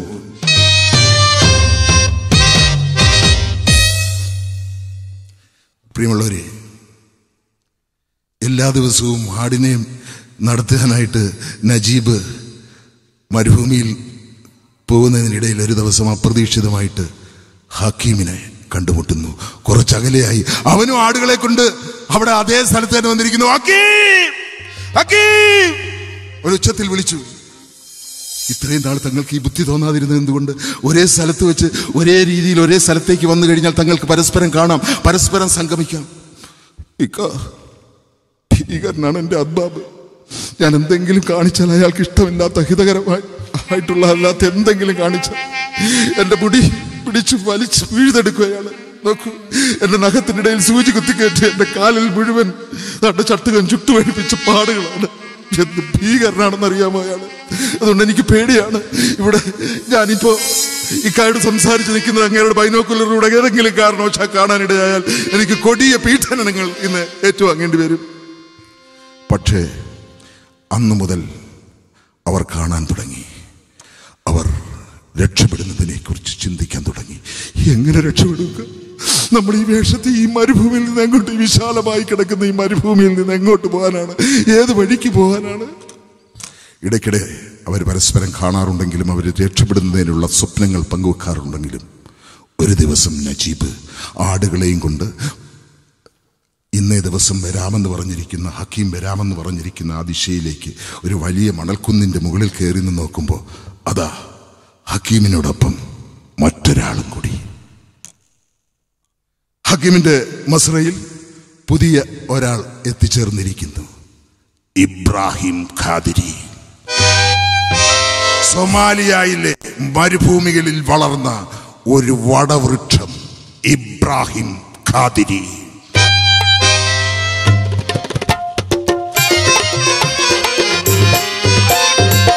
പട്ടിണി രാജ്യം സൊമാലിയായിൽ നിന്നും ദാരിദ്ര്യം കാരണം നാടുവിട്ടു. പട്ടിണി രാജ്യം സൊമാലിയായിൽ നിന്നും ദാരിദ്ര്യം കാരണം നാടുവിട്ടു. ആജാനബാഹു കരുത്തൻ ഖാദിരി ആഫ്രിക്കൻ നാടിന്റെ വന്യപുത്രൻ. അജാനുബാഹു കരുത്തൻ ഖാദിരി ആഫ്രിക്കൻ നാടിന്റെ വന്യപുത്രൻ. ഇബ്രാഹിം ഖാദിരി.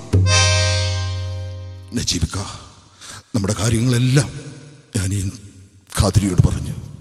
ഈ മരുഭൂമിയിലെ ഓരോ വഴികളും ഓരോ സ്ഥലങ്ങളും സ്വന്തം കൈവെള്ളയിലെ രേഖകൾ പോലെ അവന് സുപരിചിതമാണ്. നമ്മളെ രക്ഷപ്പെടുത്താമെന്ന് അവൻ വാഗ്ദാനം ചെയ്തിരിക്കുകയാണ്. ഒരു ദിവസം ഹക്കീം ഓടി വന്ന് ആടുകളെയും തെളിച്ചു കൊണ്ടുവന്ന് പതിവ് പതിവ് പോലെ അവർ കാണപ്പെടുന്ന ആ സ്ഥലത്ത് വന്ന് ഇക്കാ നാളെ ഒരു പ്രത്യേകതയുണ്ട്. നാളെ നമുക്കൊരു അവസരം ഒരുങ്ങുന്നു കാത്തിരിക്കുക. അതും പറഞ്ഞ് അതാ ഒരു മിന്നൽ പോലെ അവൻ പാഞ്ഞു പോയി. നാളെ? അവൻ മസറയിൽ ചെന്ന് നിൽക്കുമ്പോ പതിവില്ലാത്ത അർബാബ് അവനെ വിളിച്ചു. നജീവേ ഹബീബി ഇവാടാ സ്നേഹം തോന്നുമ്പോൾ പണ്ട് ആ കൂടാരത്തിൽ ആ മഴയത്ത് ഒരൊറ്റ പ്രാവശ്യം മാത്രമേ നജീബ് എന്നുള്ള പേര് വിളിച്ചിട്ടുള്ളൂ. ഇപ്പൊ താണ്ട് വീണ്ടും വിളിക്കുന്നു. നജീബേ ഹബീബി ഇങ്ങി വാടാ. ആ കൂടാരത്തിലേക്ക് അവൻ ചെന്നു. ഇവിടെ ഇരിക്കെ. ഇവിടെ ഇരിക്കെ. നീ നല്ലവനാണ് എന്റെ ഈ മസറയിൽ ഇത്രയും നാൾ ജോലിക്ക് വന്നിട്ടുള്ളതിൽ നിന്നെ പോലെ ദൈവഭക്തിയുള്ളവനെ ഞാൻ കണ്ടിട്ടില്ല. ഇതുപോലെ ചുണയുള്ള ഒരുത്തനെ ഞാൻ കണ്ടിട്ടില്ല. നിന്നെ ദൈവം രക്ഷിക്കും. പിന്നെ ഞാൻ മറ്റൊരു കാര്യം പറയാനാണ് നിന്നെ വിളിച്ചത്. നമ്മുടെ അപ്പുറത്തെ മസറയില്ലേ? ആ മസറയിലെ അർബാബിന്റെ മകളുടെ കല്യാണമാണ് നാളെ. നാളെ ഞങ്ങളവിടെ പോവും. മറ്റന്നാളെ തിരിച്ചു വരും. തിരിച്ചു വരുമ്പോൾ നാളെ നീ മാത്രമേ ഈ മസറയിൽ കാണൂ. ഈ മസറയിൽ എത്രയും ആടുകളെല്ലാം നീ തന്നെ നോക്കിക്കോണം. നീ നല്ലോണം പരിപാലിച്ചു കൊള്ളുമെന്ന് എനിക്ക് തന്നെ ഉറപ്പുണ്ട്. നോക്കില്ലേ? നോക്കാം. ശരി ഞാൻ തിരിച്ചു വരുമ്പോണ്ടല്ലോ. നീ ഇവിടെ കുബൂസ് മാത്രം കഴിക്കുകയല്ലേ? ഞാൻ തിരിച്ചു വരുമ്പോൾ നിനക്ക് കൊണ്ടുവരുന്നത് എന്താണെന്നറിയാമോ നല്ല ബിരിയാണി. ആടിനെ നല്ലോണം വറുത്ത ആട്ടിറച്ചി. ഇഷ്ടം പോലെ ബിരിയാണി ഞാൻ കൊണ്ടുവരും. നാളെ നാളെ നീ മാത്രമേ കാണൂ. നാളെ രാത്രി. അടുത്ത ദിവസമായി. അടുത്ത ദിവസം ഒരു ഉച്ചയായപ്പോൾ അപ്പുറത്തെ അർബാബിന്റെ ജീപ്പ് നജീബിന്റെ മസറയുടെ അടുത്ത് വന്നു. നജീബിന്റെ അർബാബ് ആ ജീപ്പിനകത്ത് കയറി ആ ജീപ്പ് ഓടിച്ചു പോകുന്നു. പൊടിപടലങ്ങൾ പറത്തിക്കൊണ്ട് ആ ജീപ്പ് കൺവട്ടത്തിൽ നിന്ന് മറഞ്ഞപ്പോൾ നജീബ് ഒറ്റ ഒരു ഓട്ടമായിരുന്നു. ഹക്കീമിന്റെ മസറയിലേക്ക് ഹക്കീം ഹക്കീം. അവിടെ ചെന്നപ്പോ ഹക്കീം അവിടെ മറ്റാരുമില്ല. ഹക്കീമും ഖാദിനിയും മാത്രം. നമുക്ക് ഇക്ക. എനിക്ക് എന്റെ പെങ്ങളെ കാണണം പെങ്ങന്മാരെ എല്ലാം കാണണം എന്റെ ഷാഹിനെ കാണണം എന്റെ ഉമ്മയെ കാണണം എല്ലാവരെയും കാണണം നമുക്ക് മോനെ അവസാനം ദൈവം മോചനത്തിന്റെ മാർഗം രക്ഷപ്പെടലിന്റെ വാതായനങ്ങൾ നമുക്ക് മുന്നിൽ തുറന്നിട്ടിരിക്കുന്നു. നമുക്ക് പോകാം നമുക്ക് പോകാം നമുക്ക് ഇപ്പൊ തന്നെ ഒരു നിമിഷം വൈകാതെ പോകാം. ഈ സമയത്ത് ഇബ്രാഹിം ഖാദിരിയുടെ മൃദുലമായ ഹാറടി ഉയരമുള്ളവനാണെങ്കിലും അവന്റെ കൈ വളരെ മൃദുലമാണ്. മൃദുലമായ കരങ്ങൾ നജീബിന്റെ തോളിൽ പതിച്ചു. ഇക്ക ഒരു കാര്യം മനസ്സിലാക്കണം. നമ്മുടെ അർബാബുമാരിപ്പോൾ പോയിട്ടേ ഉള്ളൂ. ഏതെങ്കിലും കാരണവശാൽ അവരിപ്പോൾ തിരിച്ചു വരികയാണെങ്കിൽ ഇവിടുത്തെ മസ്രയിലും ഇക്കായുടെ മസ്രയിലും ആരെയും കാണാതിരിക്കുകയാണെങ്കിൽ അവരിവിടെ മുഴുവൻ അന്വേഷിക്കും. അവരുടെ കൈവശം ജീപ്പുണ്ട്. പെട്ടെന്ന് കണ്ടുപിടിക്കാനൊക്കും. നമ്മൾ എവിടെ പോയാലും അവർക്ക് ആ ജീപ്പിൽ വന്ന് കണ്ടുപിടിക്കാൻ ഒക്കും അതുകൊണ്ട് നമ്മൾ പോകണ്ട. അവർ കുറച്ച് ദൂരം യാത്ര ചെയ്ത് കഴിയട്ടെ. ഇക്കാര്യം കാര്യം ചെയ്യും. പോയി മസറയിൽ പോയി റെഡിയായി നില്ല. ഞങ്ങൾ രണ്ടുപേരും വന്ന് വിളിക്കാം. ഇപ്പോൾ റെഡിയായി നില്ല. അവിടെ പോയി റെഡിയായി നില്ല. നജീബ് സ്വന്തം മസറയിലേക്ക് വന്നു. അവിടെ വന്നപ്പോൾ അവനൊന്നും കൊണ്ടുപോകാനില്ല. ഈ മസ്രയിലേക്ക് വന്ന എനിക്ക് ഇവിടെ നിന്ന് കൊണ്ടുപോകാനൊന്നുമില്ല. അവൻ ആ പഴയ പെട്ടികൾ ആ ഭീകരരൂപി കിടന്നിരുന്ന ആ കട്ടിലിന്റെ അടിയിൽ തന്നെ വെച്ചിരിക്കുകയാണ് ആ രണ്ട് പെട്ടികൾ. അനേക നാളുകളായിട്ട് അവൻ ആ പെട്ടി തുറന്നു നോക്കിയിട്ടില്ല. അവൻ ആ രണ്ട് പെട്ടിയും വലിച്ചെടുത്തു. പൊക്കിയപ്പോൾ അടിവശം ദ്രവിച്ചുപോയ ആ പെട്ടികളിൽ നിന്ന് ആ തുകൽ പെട്ടികളിൽ നിന്ന് കുറെ ഹോർലിസ് കുപ്പികൾ നിലത്തേക്ക് വീണു. നജീബ് ഹോർലിസ് കുപ്പികൾ എടുത്തു നോക്കി. തന്റെ പ്രിയപ്പെട്ട ഉമ്മ തന്റെ പ്രിയപ്പെട്ട സൈനും ഗൾഫിലേക്ക് പോകുന്ന വരുന്ന സമയത്ത് തനിക്ക് വേണ്ടി തന്നുവിട്ട നാരങ്ങ അച്ചാർ മാങ്ങ അച്ചാർ ഇപ്പോഴത് അതിന്റെ അടിവശത്ത് ആ കുപ്പിയുടെ അടിവശത്ത് ചാരം പോലെ എന്തോ പറ്റിപ്പിടിച്ചിരിക്കുന്നു ഒരിക്കൽ പോലും അവനത് തുറന്നു നോക്കിയിട്ടില്ല. തന്റെ പ്രിയപ്പെട്ടവർ സ്നേഹപൂർവം നന്നയിച്ച ആ സാധനങ്ങൾ ആ പെട്ടിയിൽ തന്നെ അവൻ ഭദ്രമായി സൂക്ഷിച്ചു വെച്ചു. അവരെക്കുറിച്ചുള്ള ഓർമ്മകൾ ആ പെട്ടിയിൽ തലവെക്കുമ്പോൾ അവരെക്കുറിച്ചുള്ള ഓർമ്മകൾ അവനിൽ നിറയുന്നു. ആ പെട്ടിയിൽ നിന്ന് അവൻ ആദ്യം ധരിച്ച പാൻസ് അവൻ കൊണ്ടുവന്ന നാട്ടിൽ നിന്ന് കൊണ്ടുവന്ന ദ്രവിച്ചുപോയ കയ്യിൽ അവനതെല്ലാം ആ മരുഭൂമിയിലേക്ക് വലിച്ചെറിഞ്ഞു. ഈ മരുഭൂമി എനിക്കൊന്നും തന്നില്ല. ഈ മരുഭൂമിയിൽ നിന്ന് ഞാൻ വെറും കൈയോടെ മടങ്ങുന്നു. പിന്നെ നജീബ് ചെന്നത് മസ്രയിലേക്കാണ്. എന്തോ വെളിപാടുണ്ടായതുപോലെ അതാ മസ്രയിലെ ആയിരക്കണക്കിന് ആളുകളും അവന്റെ ചുറ്റും കൂടിയിരിക്കുന്നു. ഞങ്ങളെ വിട്ടുപോകല്ലേ? ഞങ്ങളെ വിട്ടുപോകല്ലേ? എന്ന് ആ ആടുകൾ വിലപിക്കുന്നതായി അവന് തോന്നി. എന്തോ ചോദന ഉണ്ടായതുപോലെ ആടുകൾ അവന് ചുറ്റും കൂടി നിൽക്കുകയാണ് അവർ കരയുകയാണ്. വിലപിക്കുന്നത് പോലെ മനുഷ്യ സ്വരത്തിൽ അവന് പേരിട്ട് വിളിക്കുന്ന ഓരോരുത്തരും ഓരോ ആടുകളും കരയുന്നത് പോലെ മനുഷ്യ സ്വരത്തിൽ കരയുന്നത് പോലെ അവന് തോന്നി. ഞങ്ങളെ വിട്ടുപോകരുത് ഞങ്ങളെ വിട്ടുപോകരുത്. ആടുകളെ ഈ നജീബിന് പോകാൻ സമയമായിരിക്കുന്നു. നിങ്ങൾ എന്റെ സഹോദരങ്ങളാണ്. നിങ്ങൾ ഉള്ളത് കൊണ്ട് മാത്രമാണ് ഈ നജീബ് ഇത്രയും നാൾ മരിക്കാതെ ഈ ബസ്രയിൽ ജീവിച്ചത്. അല്ലെങ്കിൽ ഒരുപക്ഷെ ഞാൻ ആത്മഹത്യ ചെയ്യുമായിരുന്നു. എന്റെ ജീവൻ നിലനിർത്തിയ സഹോദരങ്ങളാണ് നിങ്ങൾ. നിങ്ങൾ എന്റെ മജ്ജയാണ്. നിങ്ങൾ എന്റെ മാംസമാണ്. എന്റെ സഹോദരങ്ങളാണ്. ഈ ലോകത്തിന്റെ ഏത് കോണിൽ പോയാലും ഈ നജീബ് നിങ്ങളെ മറക്കില്ല. അത്രമേൽ പ്രിയപ്പെട്ടവരാണ് ആടുകളെ നിങ്ങൾ ജീവിത ആടുകളെ മിണ്ട പ്രാണികളെ ആടുകളെ മിണ്ട പ്രാണികളെ എന്റെ ചങ്ങാതികളെ എന്റെ സോദരരെ എന്റെ ചങ്ങാതികളെ എന്റെ സോദരരെ എന്റെ രക്തമേ എന്റെ മാംസം പോകട്ടെ ഇനി ഞാൻ. വിട വിട വിട! അതാ അങ്ങ് ദൂരെ നിന്ന് ഹക്കീമിന്റെ വിളി. നജീബ് ആ മസറയിൽ നിന്ന് പുറത്തേക്ക് ഇറങ്ങി ഞങ്ങളെ വിട്ടുപോകരുതേ എന്ന് വിലപിക്കുന്ന സ്വരത്തിൽ കരഞ്ഞുകൊണ്ട് അത് ആയിരക്കണക്കിന് ആടുകൾ നസീബിന് പിന്നാലെ വരികയാണ്. ഞങ്ങളെ വിട്ടുപോകരുതേ ഞങ്ങളെ വിട്ടുപോകരുതേ എന്നവർ വിലപിക്കുന്നതായി നജീബിന് തോന്നി. നജീബ് തിരിഞ്ഞു നോക്കിയില്ല. ഒരുപക്ഷെ തിരിഞ്ഞു നോക്കിയിരുന്നെങ്കിൽ നജീബിന് ആ മസർ വിട്ടു പോകുവാൻ കഴിയുമായിരുന്നില്ല. എത്തിച്ചേർന്നിരിക്കുന്നു ഹക്കീമും ഇബ്രാഹിം ഖാദിരി. നജീബിക്ക നമുക്ക് നമ്മുടെ അർബാബുമാരോട് മത്സരിക്കാൻ നമ്മുടെ കയ്യിൽ ഒരേ ഒരു ആയുധം മാത്രമേ ഉള്ളൂ. നമ്മുടെ കാലുകൾ. അവരുടെ ജീപ്പിനോടും അവരുടെ തോക്കിനോടും എതിരിടാനായിട്ട് ഉള്ള ഒരേ ഒരു ആയുധം നമ്മുടെ കാലുകൾ. ഈ നിമിഷം മുതൽ നമ്മൾ നമ്മുടെ ആയുധം പ്രയോഗിച്ചു തുടങ്ങുന്നു. നമ്മുടെ കാലുകൾ പ്രയോഗിച്ചു തുടങ്ങുന്നു. ഓടിക്കോ!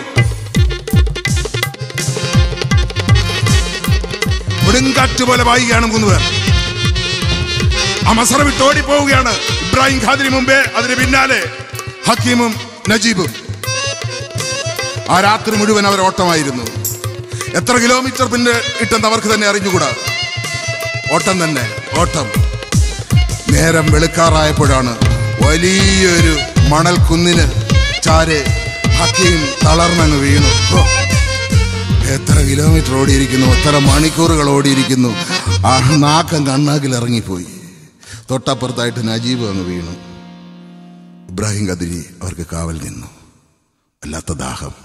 പക്ഷേ മസറയിൽ നിന്ന് ഇറങ്ങുമ്പോൾ അവർ ഒരു കാര്യം മറന്നുപോയിരുന്നു. ഒരു കുപ്പി വെള്ളം പോലും അവരെടുത്തില്ല. ആ ആവേശത്തിൽ ഒരു കുപ്പി വെള്ളം പോലും എടുക്കാതാണ്. ഒരു തയ്യാറെടുപ്പും ഇല്ലാതാണ് ഇത്രയും ദൂരം അവർ യാത്ര ചെയ്തെത്തിയിരിക്കുന്നത്. അന്ന് രാത്രി ആ മണൽക്കുന്നിന് താഴെ പറ ചെലവഴിച്ചു. രാവിലെ അതിരാവിലെ തന്നെ നജീബ് എഴുന്നേറ്റു. തൊട്ടപ്പുറത്തായിട്ട് ഹാക്കിം കിടക്കുന്നുണ്ട്. സുഖമായി ഉറങ്ങുകയാണ്. എത്രയോ നാളായി കാണും അവനിങ്ങനെ രാവിലെ ഒന്ന് ഉറങ്ങിയിട്ട്.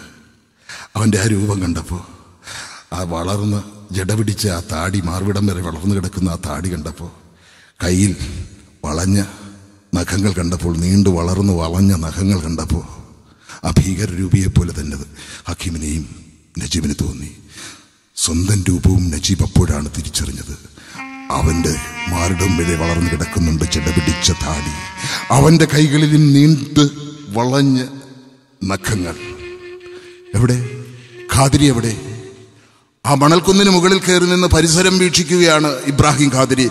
ഖാദിരി നമ്മൾ എത്താറായോ? നമ്മൾ ഏതെങ്കിലും ഹൈവേയുടെ അടുത്ത് എത്താറായോ? നമ്മൾ രക്ഷപ്പെടാറായോ? രക്ഷയുടെ സ്ഥാനം കണ്ടെത്തുന്ന അടുത്തെത്തിയോ? ഇബ്രാഹിം ഖാദിരി നജീബിനെ ആ മുകളിലേക്ക് ക്ഷണിച്ചു. വളരെ ആസപ്പെട്ട് നജീബ് ആ മണൽക്കുന്നിന് മുകളിലേക്ക് കയറി. അവിടെ നിന്ന് ചുറ്റും നോക്കിയ നജീബ് ഞെട്ടിത്തെറിച്ചുപോയി ഒരറ്റം മുതൽ മറ്റേറ്റം വരെ കിടക്കുന്ന വിശാലമായ മരുഭൂമി. കടൽ പോലെ കിടക്കുന്ന മരുഭൂമി. രാത്രിയിൽ അവർ ഓടിയപ്പോൾ അവർക്ക് എങ്ങനെയോ ദിശ തെറ്റി. മരുഭൂമിയുടെ വശങ്ങളിലേക്ക് ഓടി ഓടേണ്ടതിന് പകരം എങ്ങനെയോ അവർ ഓടിയത് മരുഭൂമിയുടെ നടുക്ക്. ഈ മരുഭൂമി മുഴുവൻ പരിചയമാണെന്ന് പറഞ്ഞ ഇബ്രാഹിം ഖാദിരിക്ക് ഒരു തെറ്റുപറ്റിയിരിക്കുന്നു. രാത്രിയിൽ നക്ഷത്രങ്ങളെ നോക്കിയതിന് തെറ്റുപറ്റിയിരിക്കുന്നു. മരുഭൂമിയുടെ നടുക്കായി ആണ് അവർ ഓടിയത്. ഇപ്പോ മരുഭൂമിയുടെ നടുക്കാണ് അവർ വന്നു വിട്ടിരിക്കുന്നത് മണൽ മണൽക്കടൽ മണൽക്കടൽ മാത്രം മണൽക്കടൽ മണൽക്കടൽ മണൽക്കടൽ മാത്രം മണൽക്കടൽ അനന്തമാം മണൽക്കടൽ മാത്രം മണൽക്കടൽ അനന്തമാം മണൽക്കടൽ മാത്രം എരിമൊഴി ഉരുകുമൊഴി മരചട്ടി മരുഭൂമി എരിവേരി ഉരുകുമൊഴി മരചട്ടി മരുഭൂമി മണൽക്കടൽ അനന്തമാം. മണക്കടൽ മാത്രം. മണക്കടൽ അനന്തമാം. മണക്കടൽ മാത്രം. മണൽക്കടൽ അനന്തമാം. മണൽക്കടൽ മാത്രം. മണൽക്കടൽ അനന്തമാം. മണക്കടൽ മാത്രം. കുഴപ്പമില്ല. ഇതൊക്കെ നമുക്ക് എനിക്ക് പരിചിതമാണ്. നമ്മൾ കുറേ യാത്ര ചെയ്ത് കഴിഞ്ഞാൽ ഏതെങ്കിലും ഹൈവേയിൽ നമ്മൾ എത്തിച്ചേരും ഉറപ്പ് തരുന്നു. നമ്മൾ ആവേശപൂർവം എഴുന്നേറ്റാട്ടെ. അവനെ ഹക്കീമേ എഴുന്നേക്കടാ എഴുന്നേക്കടാ. നേരം വെളുത്ത് വരുന്ന കണ്ടില്ലേ? എഴുന്നേക്ക്. നമുക്ക് ഒരു ഒരുപാട് ദൂരം പിന്നിടാനുണ്ട്. ഹൈവേയിൽ എത്തിച്ചേരുന്നതിന് വേണ്ടി ഒരുപാട് ദൂരം പിന്നിടാനുണ്ട്. എഴുന്നേക്ക്. ഹക്കീമിനെയൊക്കെ തട്ടി വിളിച്ച് അവർ മൂന്ന് പേരും കൂടി അതാ ഉത്സാഹഭരിതരായിട്ട് ആ ഉദയസൂര്യന്റെ ആ കിരണങ്ങളുമൊക്കെ ഏറ്റ് ആ പ്രഭാത സൂര്യന്റെ കിരണങ്ങളുമൊക്കെ ഏറ്റിതാ അവർ നടക്കുന്നു. മൂന്ന് പേരും കൂടി നടക്കുന്നു. ഒരു കുറച്ചൊരു കുറച്ച് ദൂരം പോയപ്പോൾ അതാ അവിടെ മണൽ ശൽക്കങ്ങൾ. നിരവധി നിരവധി മണൽ ശൽക്കങ്ങൾ ഉയർന്നു നിൽക്കുന്നു. ഹക്കീം ചെന്ന് ഒരു ആ മണൽ അതൊന്ന് തട്ടിയപ്പോൾ അതാ അതിന്റെ ആ പുറ്റ് ആ മണൽ പുറ്റ് അങ്ങ് അടർന്നു വീണു. അതിൽ ഒരു വൃക്ഷത്തിന്റെ അസ്ഥിപഞ്ചരം തെളിഞ്ഞു വന്നു. എന്താണെന്നറിയാമോ? അനേകം വർഷങ്ങൾക്ക് മുമ്പ് നൂറ്റാണ്ടുകൾക്ക് മുമ്പ് കാടായിരുന്ന പ്രദേശമാണിത്. പച്ചപ്പുണ്ടായിരുന്ന പ്രദേശമാണിത്. പിന്നീട് എങ്ങനെയോ മരുഭൂമിയായി മരുക്കാറ്റേറ്റ് വൃക്ഷങ്ങളെല്ലാം നശിച്ചു. നൂറ്റാണ്ടുകൾ പഴക്കമുള്ള ജീവനില്ലാത്ത വൃക്ഷങ്ങൾ ഇതാ മണലുകൊണ്ട് കൊണ്ട് മൂടി മണൽ പുറ്റായിട്ട് മാറിയിരിക്കുന്നു. പതിനായിരക്കണക്കിന് ആയിരക്കണക്കിന് പതിനായിരക്കണക്കിന് മണൽപ്പുറ്റുകൾ ഉയർന്നു നിൽക്കുന്ന ആ മരുഭൂമിയിലെ കാട് പോലുള്ള ജീവനില്ലാത്ത വൃക്ഷങ്ങളെ ഉള്ളിൽ പേറി നിൽക്കുന്ന ആ മണൽപ്പുറ്റുകൾ ഇവിടം മരുഭൂമിയിലെ ഏറ്റവും അപകടം പിടിച്ച സ്ഥലമാണ്. നമുക്ക് ഇവിടെ നിന്ന് ഇവിടെ നിന്ന് രക്ഷപ്പെടണം. രക്ഷപ്പെടണം. വേഗം നടന്നു വേഗം നടന്നു. അവർ മൂന്ന് പേരും കൂടി അതാ വീണ്ടും മുന്നോട്ട് നടക്കുന്നു. കുറച്ചു ദൂരം അങ്ങോട്ട് പോയി കഴിഞ്ഞപ്പോഴത്തെ അതാ മുമ്പിൽ ഒരു ചലനം. ഒരു ശീൽക്കാര ശബ്ദങ്ങൾ ഒരുപാട് ശീൽക്കാര ശബ്ദങ്ങൾ കേൾക്കുന്നു. മുമ്പിലൊരു ചലനം. ഒരു പൂന്തോട്ട കാറ്റിലാടുന്ന ഒരു പൂന്തോട്ടത്തിൽ എന്തൊക്കെയോ തലനീട്ടുന്നത് പോലെ അതാ മുമ്പിൽ ചില ചലനങ്ങൾ. ആ കാഴ്ച സൂക്ഷിച്ചു നോക്കിയ ആ ദൂരെ വരുന്ന ആ കാഴ്ച സൂക്ഷിച്ചു നോക്കിയ ഇബ്രാഹിം കാതിരി ആകപ്പാടെ പേടിച്ച് വിറച്ചുപോയി.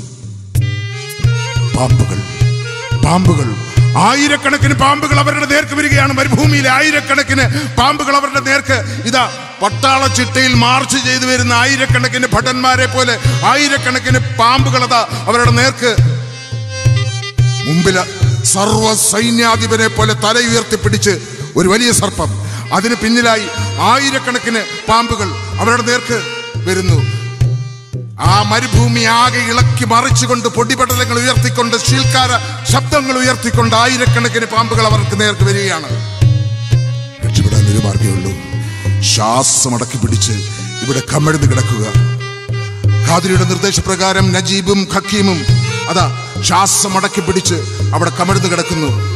നൂറുകണക്കിന് ആയിരക്കണക്കിന് പാമ്പുകൾ അവരുടെ ശരീരത്തിലൂടെ ഇഴഞ്ഞു പോകുന്നു. മരുഭൂമിയിൽ ഏറ്റവും വിഷം കൂടുതലുള്ള ഒന്ന് ദംശിച്ചാൽ മാത്രം ജീവൻ അടനടി നഷ്ടപ്പെട്ടു പോകുന്ന ആ പാമ്പുകൾ. ഓരോ പാമ്പുകളും കടന്നു പോകുമ്പോൾ തീക്കൊള്ളി കൊണ്ട് പുറത്താരോ വരയുന്നത് പോലെ അവർക്ക് അനുഭവപ്പെട്ടെങ്കിലും അവർ അനങ്ങിയില്ല. കുറേയേറെ സമയം എല്ലാ പാമ്പുകളും പോയി കഴിഞ്ഞപ്പോൾ ഇബ്രാഹിം ഖാദിരിയാണ് ആദ്യം എഴുന്നേറ്റത്. അത് ആ പാമ്പുകളെല്ലാം നേരത്തെ കണ്ട ആ കാട് ആ ശൽക്കങ്ങൾ മണൽ ശൽക്കങ്ങൾ വളർ മണൽപ്പുറ്റുകൾ വളർന്നു നിൽക്കുന്ന ആ കാട്ടിനുള്ളിലേക്കാണ് പോയത്. മൂന്ന് പേരും എഴുന്നേറ്റു. ദേഹമാനം തെരണ്ടി വാൽ കൊണ്ട് അടിച്ചതുപോലെ പുറമാകെ പൊളിഞ്ഞിരിക്കുന്നു. വീണ്ടും അവർ നടന്നു തുടങ്ങി. എന്തെല്ലാം അത്ഭുതങ്ങളാണ് ഈ മരുഭൂമിയിലുള്ളത്. മരുഭൂമി ഒരു വല്ലാത്ത ആവാസ വ്യവസ്ഥയാണ്. എത്രയോ ദിവസം എത്രയോ വർഷങ്ങൾ തന്നെ ഒരു തുള്ളി ജലം പോലും കുടിക്കാൻ കുടിക്കാതെ ജീവൻ നിലനിർത്താൻ കഴിയുന്ന അനേകതരം മൃഗജാലങ്ങളെ ആമകളെ ഒരുതരം പക്ഷികളെ പൂമ്പാറ്റകളെ അങ്ങനെ പലതരം പക്ഷികളെയും പൂമ്പാറ്റകളെയും ആമകളെയും ഒക്കെ അവർ മരുഭൂമിയിൽ കണ്ടു. പക്ഷേ ഒന്നു മാത്രം അവർ കണ്ടില്ല. വെള്ളം. മൂന്നാം ദിവസമായപ്പോ അതാ ആ വെയിലത്ത് നടന്നുകൊണ്ടിരിക്കുന്ന ഹക്കീം അവിടെ അങ്ങ് വീണു. ഇല്ല എനിക്കിനി നടക്കാൻ വയ്യ എനിക്കിനി നടക്കാൻ വയ്യ. ഹക്കീം. എഴുന്നേക്ക്. ഹക്കീം വീണപ്പോൾ തൊട്ടപ്പുറത്ത് തന്നെ നജീബും ക്ഷീണിതനായി ഇരുന്നു. വയ്യ ഇനി ഒരടി പോലും ഒരു വെള്ളം ഒരു തുള്ളി വെള്ളം കുടിക്കാതെ ഒരടി പോലും മുന്നോട്ട് പോവാ വയ്യ ആ മസറയിലായിരുന്നെങ്കിൽ ഒരു തുള്ളി വെള്ളമെങ്കിലും ഞങ്ങൾക്ക് കിട്ടുമായിരുന്നു ഇവിടെ ഈ നാരകത്തിലേക്ക്. എന്തിനാ കാതിരി ഞങ്ങളെ കൊണ്ടുവന്നത്? നജീബ് ഹക്കീം എഴുന്നേക്ക്. പതിനാല് ദിവസം വരെ ഒരു തുള്ളി വെള്ളം പോലും കുടിക്കാതെ മരുഭൂമിയിൽ ജീവിക്കാനാകുമെന്ന് തെളിയിച്ചവനാണ് ഈ ഞാൻ. ഇപ്പം നമ്മൾ മൂന്ന് ദിവസം പിന്നിട്ടതേ ഉള്ളൂ. ഒരു ദിവസം കൂടി. അടുത്ത ദിവസം നമ്മൾ ഏതെങ്കിലും ഒരു ഹൈവേയുടെ സമീപത്തെത്തും. എഴുന്നേക്ക്. ഇവിടെ ഇങ്ങനെ ഈ വെയിലത്ത് ഈ മരുഭൂമിയിൽ കിടന്നാൽ ഇങ്ങനെ കിടന്നാലുണ്ടല്ലോ. നിങ്ങളുടെ ശരീരത്തിലെ അവസാന തുള്ളി വെള്ളവും ഈ ചൂട് മരുഭൂമി ഈ ചൂട് മണൽ ഊറ്റിയെടുക്കും. ഇവിടെ കിടന്ന് മരിച്ചു പോകും. എഴുതേക്ക് എഴുന്നേക്ക്. ഒരു തരത്തിൽ ഹക്കീമിനെയും നജീബിനെയും ഖാദിരി എഴുന്നേൽപ്പിച്ചു. നടന്ന് നടന്ന് അവരുടെ പാദങ്ങൾ വിണ്ടു കീറി. കാലുകളിലൊക്കെ അങ്ങ് നീര് വന്നു. മരുഭൂമിയിൽ നഗ്നപാതരായിട്ട് അവർ നടക്കുകയാണ്. നീര് വന്നു. നാലാം ദിവസമായപ്പോ വെള്ളം വെള്ളമെന്ന് ആർത്ത് വിളിച്ചുകൊണ്ട് അന്നേരമുണ്ടായ മതിഭ്രമത്തിൽ വെള്ളം വെള്ളമെന്ന് ആർത്ത് വിളിച്ചുകൊണ്ട് അതാ മുന്നോട്ട് ഓടുകയാണ് ഹക്കീം. ഹക്കീമിന്റെ പിന്നാലെ ഖാദിരിയും നജീവും ഓടുന്നു. ഓനെ അത് നിനക്ക് തോന്നലാണ്. വെള്ളമല്ല വെള്ളമല്ല.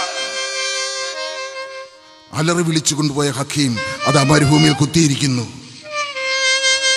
അവനെ പിടിച്ചെഴുന്നേൽപ്പിക്കാനായി ചെന്ന ഇബ്രാഹിം ഖാദിരിയെയും നജീബിനെയും സർവശക്തിയും എടുത്ത് അവൻ കുടഞ്ഞെറിയുന്നു. പോ! പിന്നെ ആ മരുഭൂമിയിൽ കുത്തിയിരുന്ന് അവിടെ കണ്ട ആ ചുട്ടുമണൽ അതാ വാരി വാരി ഭക്ഷിക്കുന്നു. വാരി വാരി കഴിക്കുന്നു. മോനെ കടിക്കരുത് ഹക്കീം. കുറച്ചങ്ങോട്ട് കടിച്ചു കഴിഞ്ഞപ്പോൾ അവൻ ഛർദ്ദിക്കാൻ തുടങ്ങി. അവന്റെ വായിൽ നിന്ന് നുരയും പതയും വരാൻ തുടങ്ങി ഛർദിൽ വരാൻ തുടങ്ങി രക്തം വരാൻ തുടങ്ങി. ആ കാഴ്ച കാണാവുന്നതിലും അധികമായിരുന്നു. ഖാദിരി നോക്ക്. എന്ത് ഖാദിരിക്ക് എന്ത് ചെയ്യാനാണ്? നജീബ് ഓടിച്ചെന്ന് അവനെ പിടയുന്ന ഒരു അടിയേറ്റ പുളയുന്ന ഒരു പാമ്പിനെ പോലെ പിടയുന്ന ഹക്കീമിനെ സ്വന്തം മടിയിലെടുത്ത് വെച്ച് പോലെ നിന്റെ ഉമ്മ എന്നോടൊപ്പമാണ് ഹക്കീമേ വിട്ടത്. അവന്റെ വായിൽ നിന്ന് നുരയും പതയും രക്തവും വരുന്നു. കണ്ണുകൾ ഉതളങ്ങ പോലെ വളരുന്നു വലുതാവുന്നു. ഒരു നിമിഷം ആ തുറന്ന കണ്ണുകൾ നജീബിന്റെ കണ്ണുകളിൽ തന്നെ ഉടക്കി നിന്നു. അടുത്ത നിമിഷം ആ കണ്ണുകൾ അടഞ്ഞു എന്നേക്കുമായി.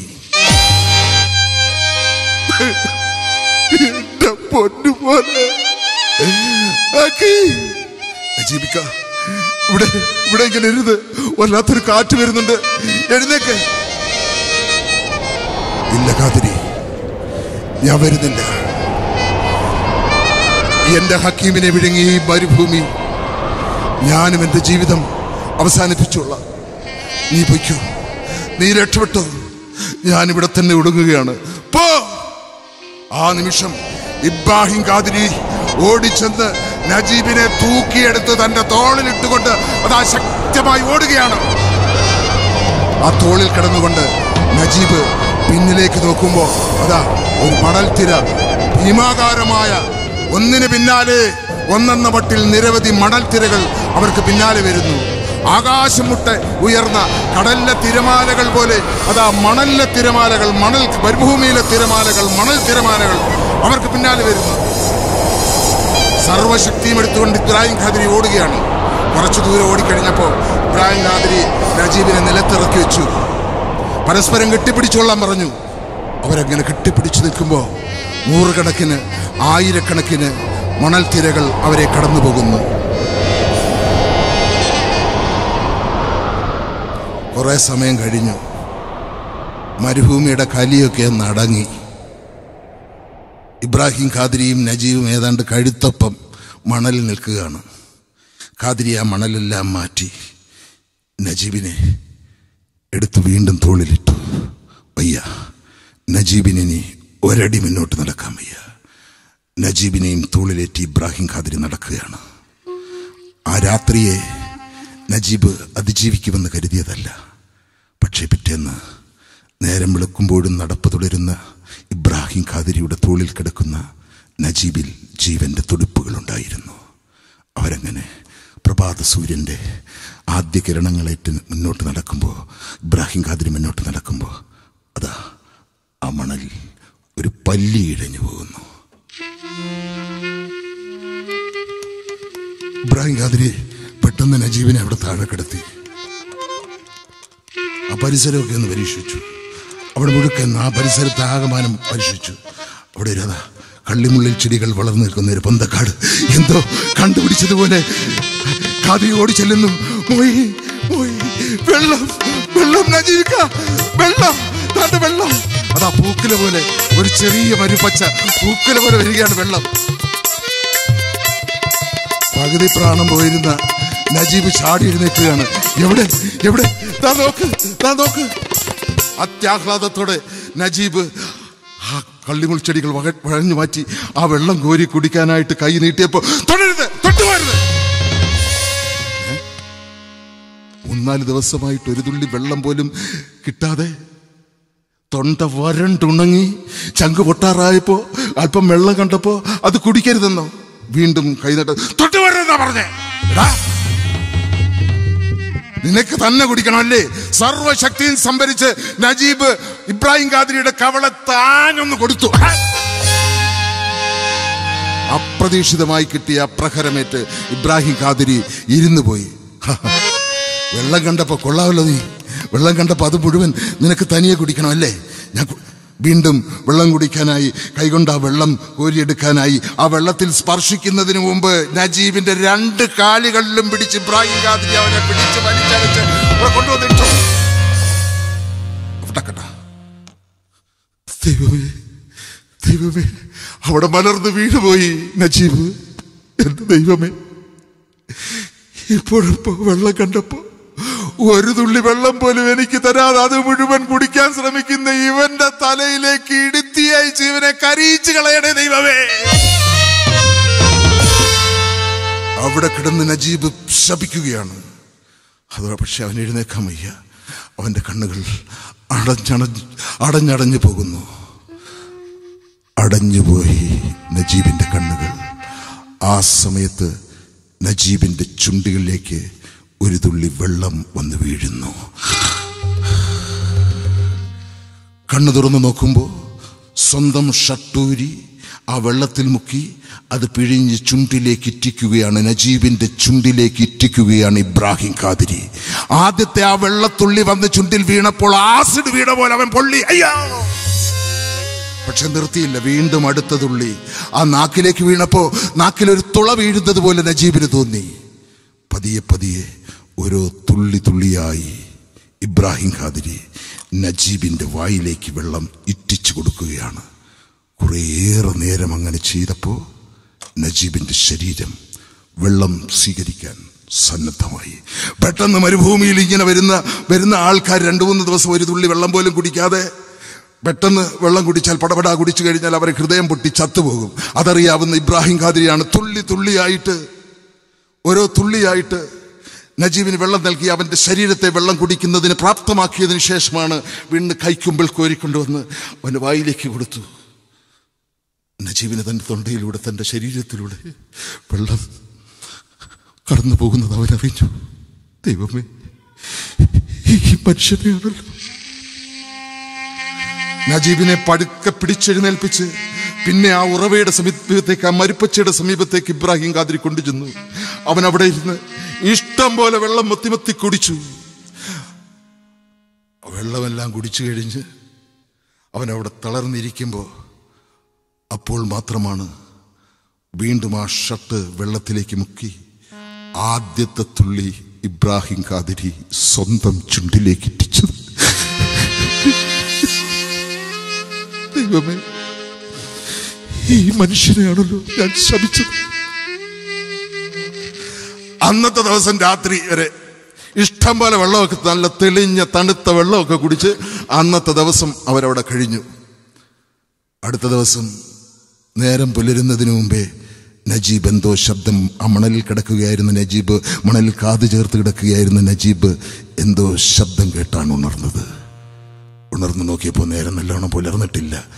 പ്രഭാതത്തിന്റെ ആദ്യ കിരണങ്ങൾ മരുഭൂമിയിൽ പതിച്ചു തടങ്ങുന്നതേയുള്ളൂ കലിയൊക്കെ അടക്കി ശാന്തസുന്ദരമായി കിടക്കുന്ന മരുഭൂമി. അങ്ങ് ദൂരെയുള്ള ശബ്ദം പോലും വളരെ വ്യക്തമായി കേൾക്കാം. അതുപോലെ ഒരു ശബ്ദമാണ്. വീണ്ടും ആ മണലിനോട് ചെവി ചേർത്ത് വെച്ചുകൊണ്ട് നജീബ് ആ ശബ്ദം ശ്രമിച്ചു അതെ. ടാർ റോഡിൽ ടയർ ഉരയുന്ന ശബ്ദം.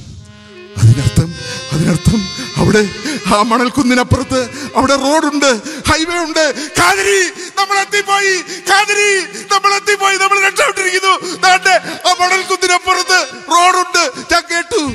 ടാർ റോഡിൽ ടയർ എനിക്ക് പരിചിതമായ ആ ശബ്ദം ഞാൻ കേട്ടു. താണ്ട് അവിടെയാണ്. കാതിരി. കാതിരി. ഇബ്രാഹിം കാതിരി. നജീബ് അവിടെ എല്ലാം ഉച്ചത്തിൽ വിളിച്ചു നടന്നു ഇബ്രാഹിം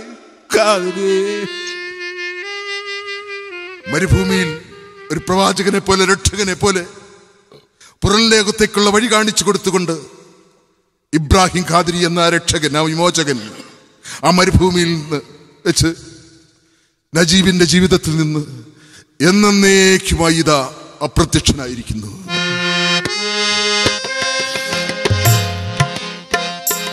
ഒരു മഞ്ഞുത്തുള്ളി അതില്ലാതെയാ ഒരു മഴവില്ലതു മാഞ്ഞു പോയി. ഒരു മഞ്ഞുത്തുള്ളി അതില്ലാതെയാ ഒരു മഴവില്ലതു മാഞ്ഞു പോയി.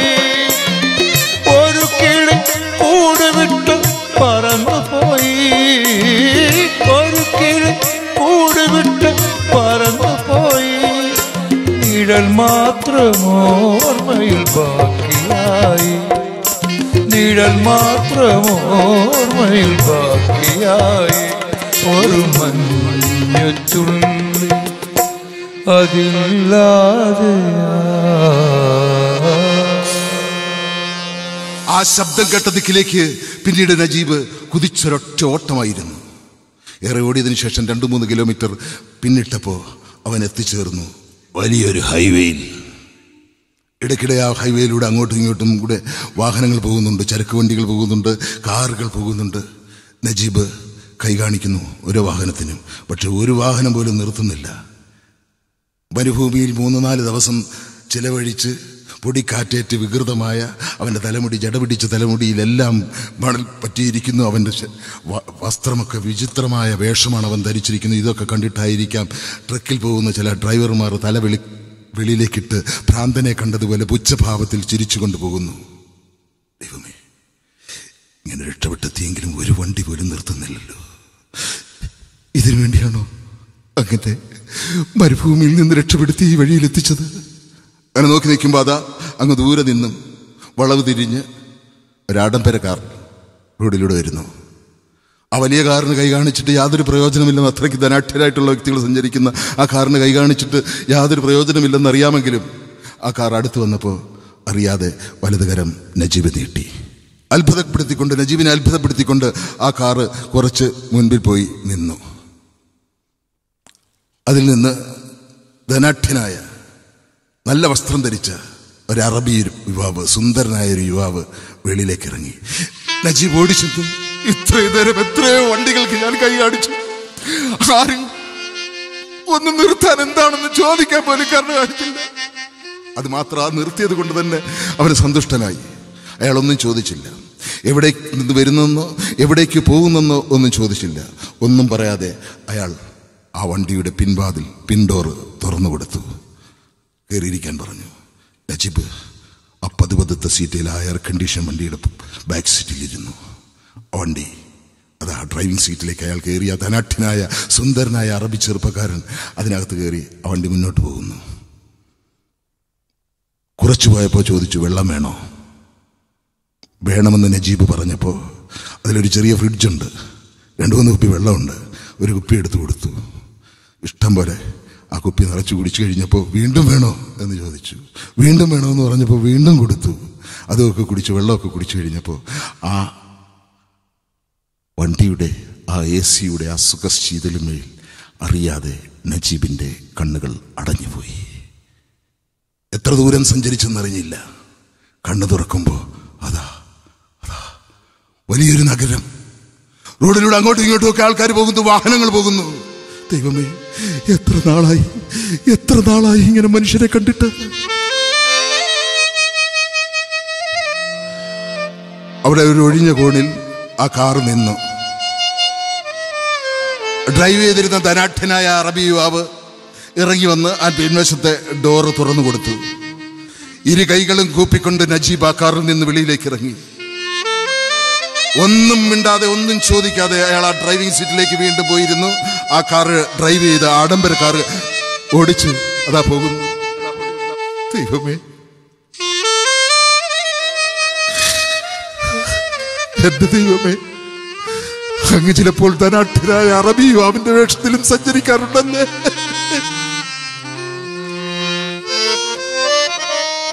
അങ്ങോട്ടും ഇങ്ങോട്ടും ഒക്കെ ആളുകൾ പോകുന്നുണ്ട്. പക്ഷെ നജീബിനെ കാണുമ്പോൾ ഒരു ഭ്രാന്തനെ കണ്ടതുപോലെ കുട്ടികളൊക്കെ പേടിച്ച് മാറിപ്പോകുന്നു ആൾക്കാർ ഒഴിഞ്ഞു പോകുന്നു. വല്ലാതെ വിശക്കുന്നു നജീബിന്. ഒരു കൈ ഒരു പൈസ ഒരു തുട്ടും ഒന്നുമില്ല കറൻസികളില്ല ചിലർ നാണയങ്ങളില്ല. ഇവിടുത്തെ നാണയം എന്താണെന്ന് പോലും നജീബിന് അറിയില്ല. ആരടുത്തെങ്കിലും ചോദിച്ച് യാചിച്ച് അല്പം ഭക്ഷണം കഴിക്കാമെന്ന് കടകളിലൊക്കെ ചെന്ന് കൈതീട്ടിയപ്പോ ഒരു പുഴുവരിച്ച പട്ടിയെ ആട്ടിപ്പായിക്കുന്നത് പോലെ നജീബിനെ ഓരോ കടക്കാരും ആട്ടിപ്പായിക്കുന്നു. ദൈവമേ ആകപ്പാടെ വിശന്ന് വലഞ്ഞ നജീബ് ആൾക്കാരാൾ ആട്ടിപ്പായിക്കപ്പെട്ട നജീബ് ആ തെരുവിന്റെ ഒരു ഓരത്ത് നിൽക്കുമ്പോ അതാ കുറച്ച് അകലെയായി ചെറിയ ബൾബുകൾ മിന്നുന്നു അണയുന്നു. അക്ഷരങ്ങളാണ്. ആ വലിയ കെട്ടിടത്തിന്റെ മുകളിൽ ആ കെട്ടിടത്തിന്റെ പേരെഴുതി വെച്ചിരിക്കുകയാണ്. ഏറ്റവും മുകളിലായി അറബി അക്ഷരങ്ങൾ. അതിന് താഴെയായി ഇംഗ്ലീഷ് അക്ഷരങ്ങൾ. അതിന് താഴെയായി അതിന് താഴെയായി അയാളുടെ മലയാളം. മലബാർ ഹോട്ടൽ. നജീബ് സർവശക്തിയും സംഭരിച്ചുകൊണ്ട് ആ മലബാർ ഹോട്ടൽ എന്ന് എഴുതി വെച്ചിരിക്കുന്ന ആ ബോർഡുള്ള ആ വലിയ കെട്ടിടം കണ്ട സ്ഥലത്തേക്ക് ഒറ്റ ഓട്ടമായിരുന്നു. ആ ഹോട്ടലിന് മുമ്പിൽ ആ ഗേറ്റിന് മുമ്പിൽ ചെന്ന് അയാൾ ബോധരഹിതനായി നിലംപതിച്ചു. പ്രിയമുള്ളവരെ സൗദി അറേബ്യയിലെ ഏറ്റവും പ്രസിദ്ധമായ ഒരു കമ്പോളമാണ് ബത്ത മാർക്കറ്റ് ഏറ്റവും തിരക്കുള്ള ഒരു സ്ഥലം. നിരവധി മലയാളികൾ ജോലി ചെയ്യുന്ന ഒരു സ്ഥലം. അവിടുത്തെ മലയാളികൾക്ക് എല്ലാം അഭയവും ആശ്രയവുമായിട്ടുള്ള ഒരു ബിസിനസ്സുകാരനുണ്ട് മലബാറുകാരനായ കുഞ്ഞിക്ക. ആ കുഞ്ഞിക്കായുടെ ഹോട്ടലിന്റെ പേരാണ് മലബാർ ഹോട്ടൽ. ആ ഹോട്ടലിന്റെ മുമ്പിലാണ് ബോധരഹിതനായി നമ്മുടെ നജീബ് ചെന്ന് വീണത്. ആ വിവരമറിഞ്ഞ് കുഞ്ഞിക്കായും സുഹൃത്തുക്കളും വന്ന് നജീബിനെ പെട്ടെന്ന് താങ്ങിയെടുത്ത് ഹോട്ടലിനുള്ളിലേക്ക് കൊണ്ടുപോയി. അവന് വേണ്ട ചികിത്സകൾ കൊടുത്തു. രണ്ട് ദിവസം കൊണ്ട് നജീബിനെ സംബന്ധിച്ച വാർത്തകൾ ബത്തയിലെ മലയാളി സമൂഹത്തിനിടയിൽ പെട്ടെന്ന് കാട്ടുതീ പോലെ വ്യാപിച്ചു. അവർ ഡോക്ടറെ വരുത്തി ഇഞ്ചക്ഷൻ കൊടുത്തു. അവന്റെ ആ നീണ്ട മുറി ഒരു ബാർ മുടി ഒരു ബാർബറെ വരുത്തി അവൾ ഷേവ് ചെയ്ത് കളഞ്ഞു. അവന്റെ നഖം വെട്ടിക്കൊടുത്തു. അങ്ങനെ ബോധരഹിതനായി നിലംപതിച്ച നജീബ് മൂന്ന് ദിവസം കഴിഞ്ഞാണ് കണ്ണു തുറക്കുന്നത്. കണ്ണു തുറന്നപ്പോൾ നജീബ് കണ്ണു തുറന്നപ്പോൾ അവന് ബോധം തെളിഞ്ഞു തെളിഞ്ഞപ്പോൾ മലയാളികൾ ആ വിവരം കേട്ട് അവന് ചുറ്റും കൂടി. ഞാനിപ്പോൾ എവിടാ? ഞാനിപ്പോൾ എവിടെ? പേടിക്കണ്ട. ഞങ്ങളൊക്കെ ഇവിടെ ഉണ്ട് മലയാളം. അവന്റെ മാതൃഭാഷ. എത്രയോ നാളായി ആ നാദം സ്വരങ്ങൾ അവൻ കേട്ടിട്ട്. പേടിക്കണ്ട. ഞാനിത് എവിടാണ്? കുഴപ്പമില്ല. ഞങ്ങളൊക്കെ നിങ്ങളോട് ഒപ്പമുണ്ട്. എല്ലാം ഇപ്പൊ കിടന്ന് ഉറങ്ങും. ഇത് ഏത് വർഷമാണ്? ഇത് ഏതാണ്? എത്രയാണ് തീയതി? ആയിരത്തി തൊള്ളായിരത്തി തൊണ്ണൂറ്റിയഞ്ച് ആഗസ്റ്റ് മാസം പതിമൂന്നാം തീയതി.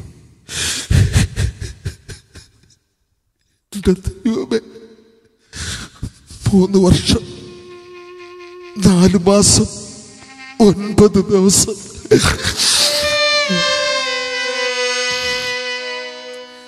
ബത്തയിലെ സ്നേഹസമ്പന്നരായ മലയാളികളുടെ ആ ശുശ്രൂഷയിൽ പെട്ടെന്ന് നജീബ് സുഖം പ്രാപിച്ചു. പിന്നെ നടക്കാൻ വീണ്ടും പ്രയാസമുണ്ടായി. നടക്കാൻ കഴിയുമെന്നായപ്പോൾ ഒരു വടിയൊക്കെ കുത്തിപ്പിടിച്ച് സ്നേഹസമ്പന്നനായ കുഞ്ഞിക്ക നജീബിനെ തന്റെ ഓഫീസ് മുറിയിലേക്ക് കൂട്ടിക്കൊണ്ടുപോയി. അവിടെ ഇരിക്കെ നജീബേ അവിടെ ഇരി നജീബേ നിനക്ക് നാട്ടിൽ നിന്റെ ബീവിയോടൊക്കെ ഒന്ന് സംസാരിക്കണ്ടേ? നിന്റെ ഉമ്മയോടൊക്കെ ഒന്ന് സംസാരിക്കണ്ടേ? ആരുടെയെങ്കിലും ഫോൺ നമ്പർ നിനക്ക് ഓർമ്മയുണ്ടോ? അവന്റെ മനസ്സിൽ ഇപ്പോൾ അക്കങ്ങളില്ല. ഫോൺ നമ്പറുകളില്ല. ആരുടെയെങ്കിലും ഒന്ന് ഓർത്ത് നോക്ക് നജീബെ. പെട്ടെന്ന് മേചകമേഘമാലകൾക്കിടയിൽ നക്ഷത്രം തിളങ്ങുന്നത് പോലെ കുറേ നമ്പറുകൾ അവന്റെ മനോമുഖരത്തിൽ തെളിഞ്ഞു വന്നു. Zero four seven seven two five eight five two seven nine. Chacko മോലാളിയുടെ വീട്ടിലെ നമ്പർ.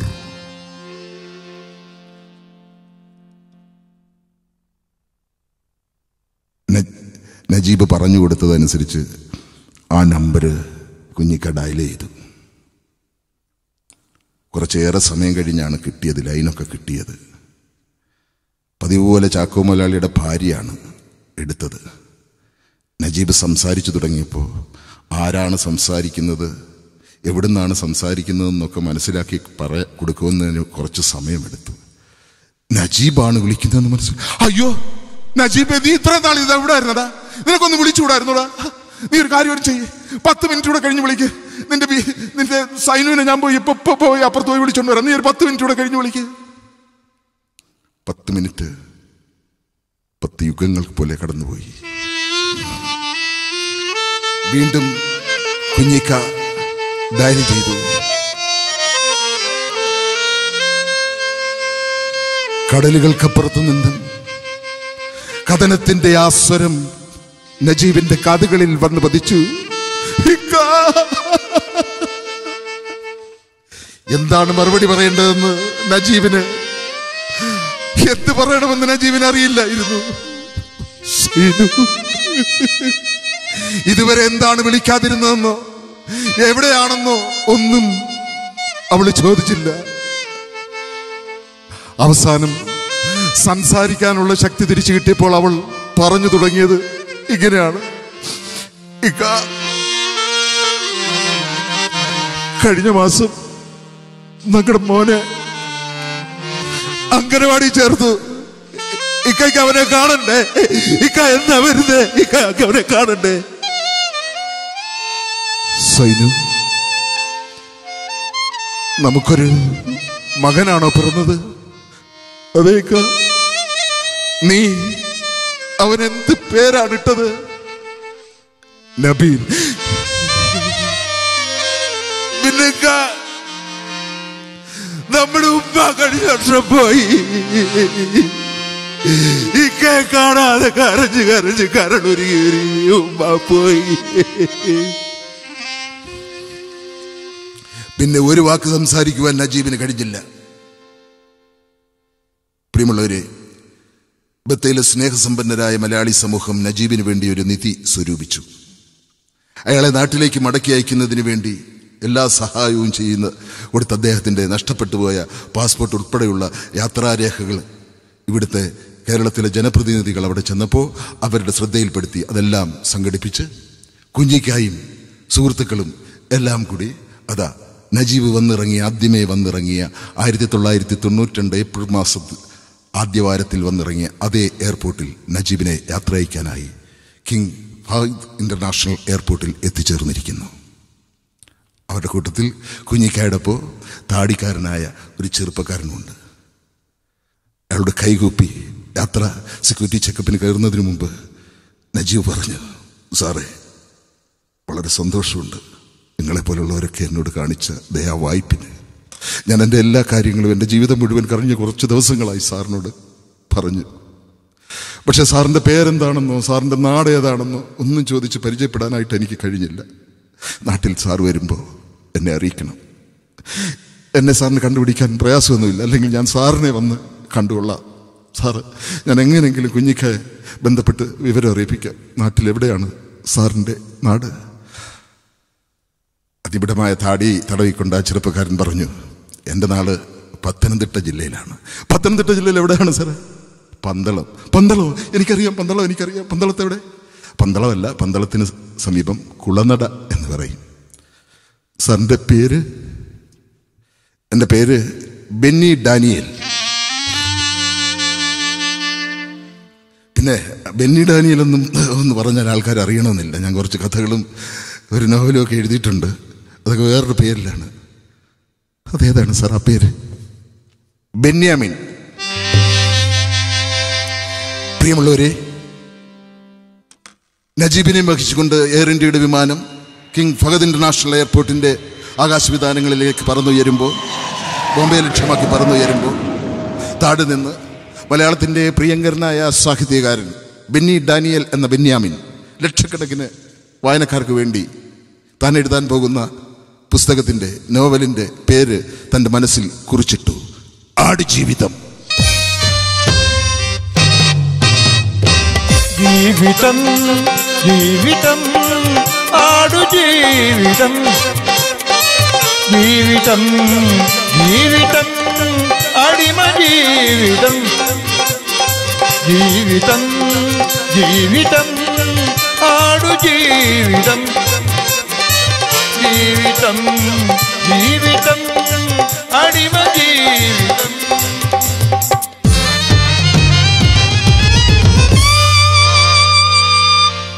നന്ദി നമസ്കാരം.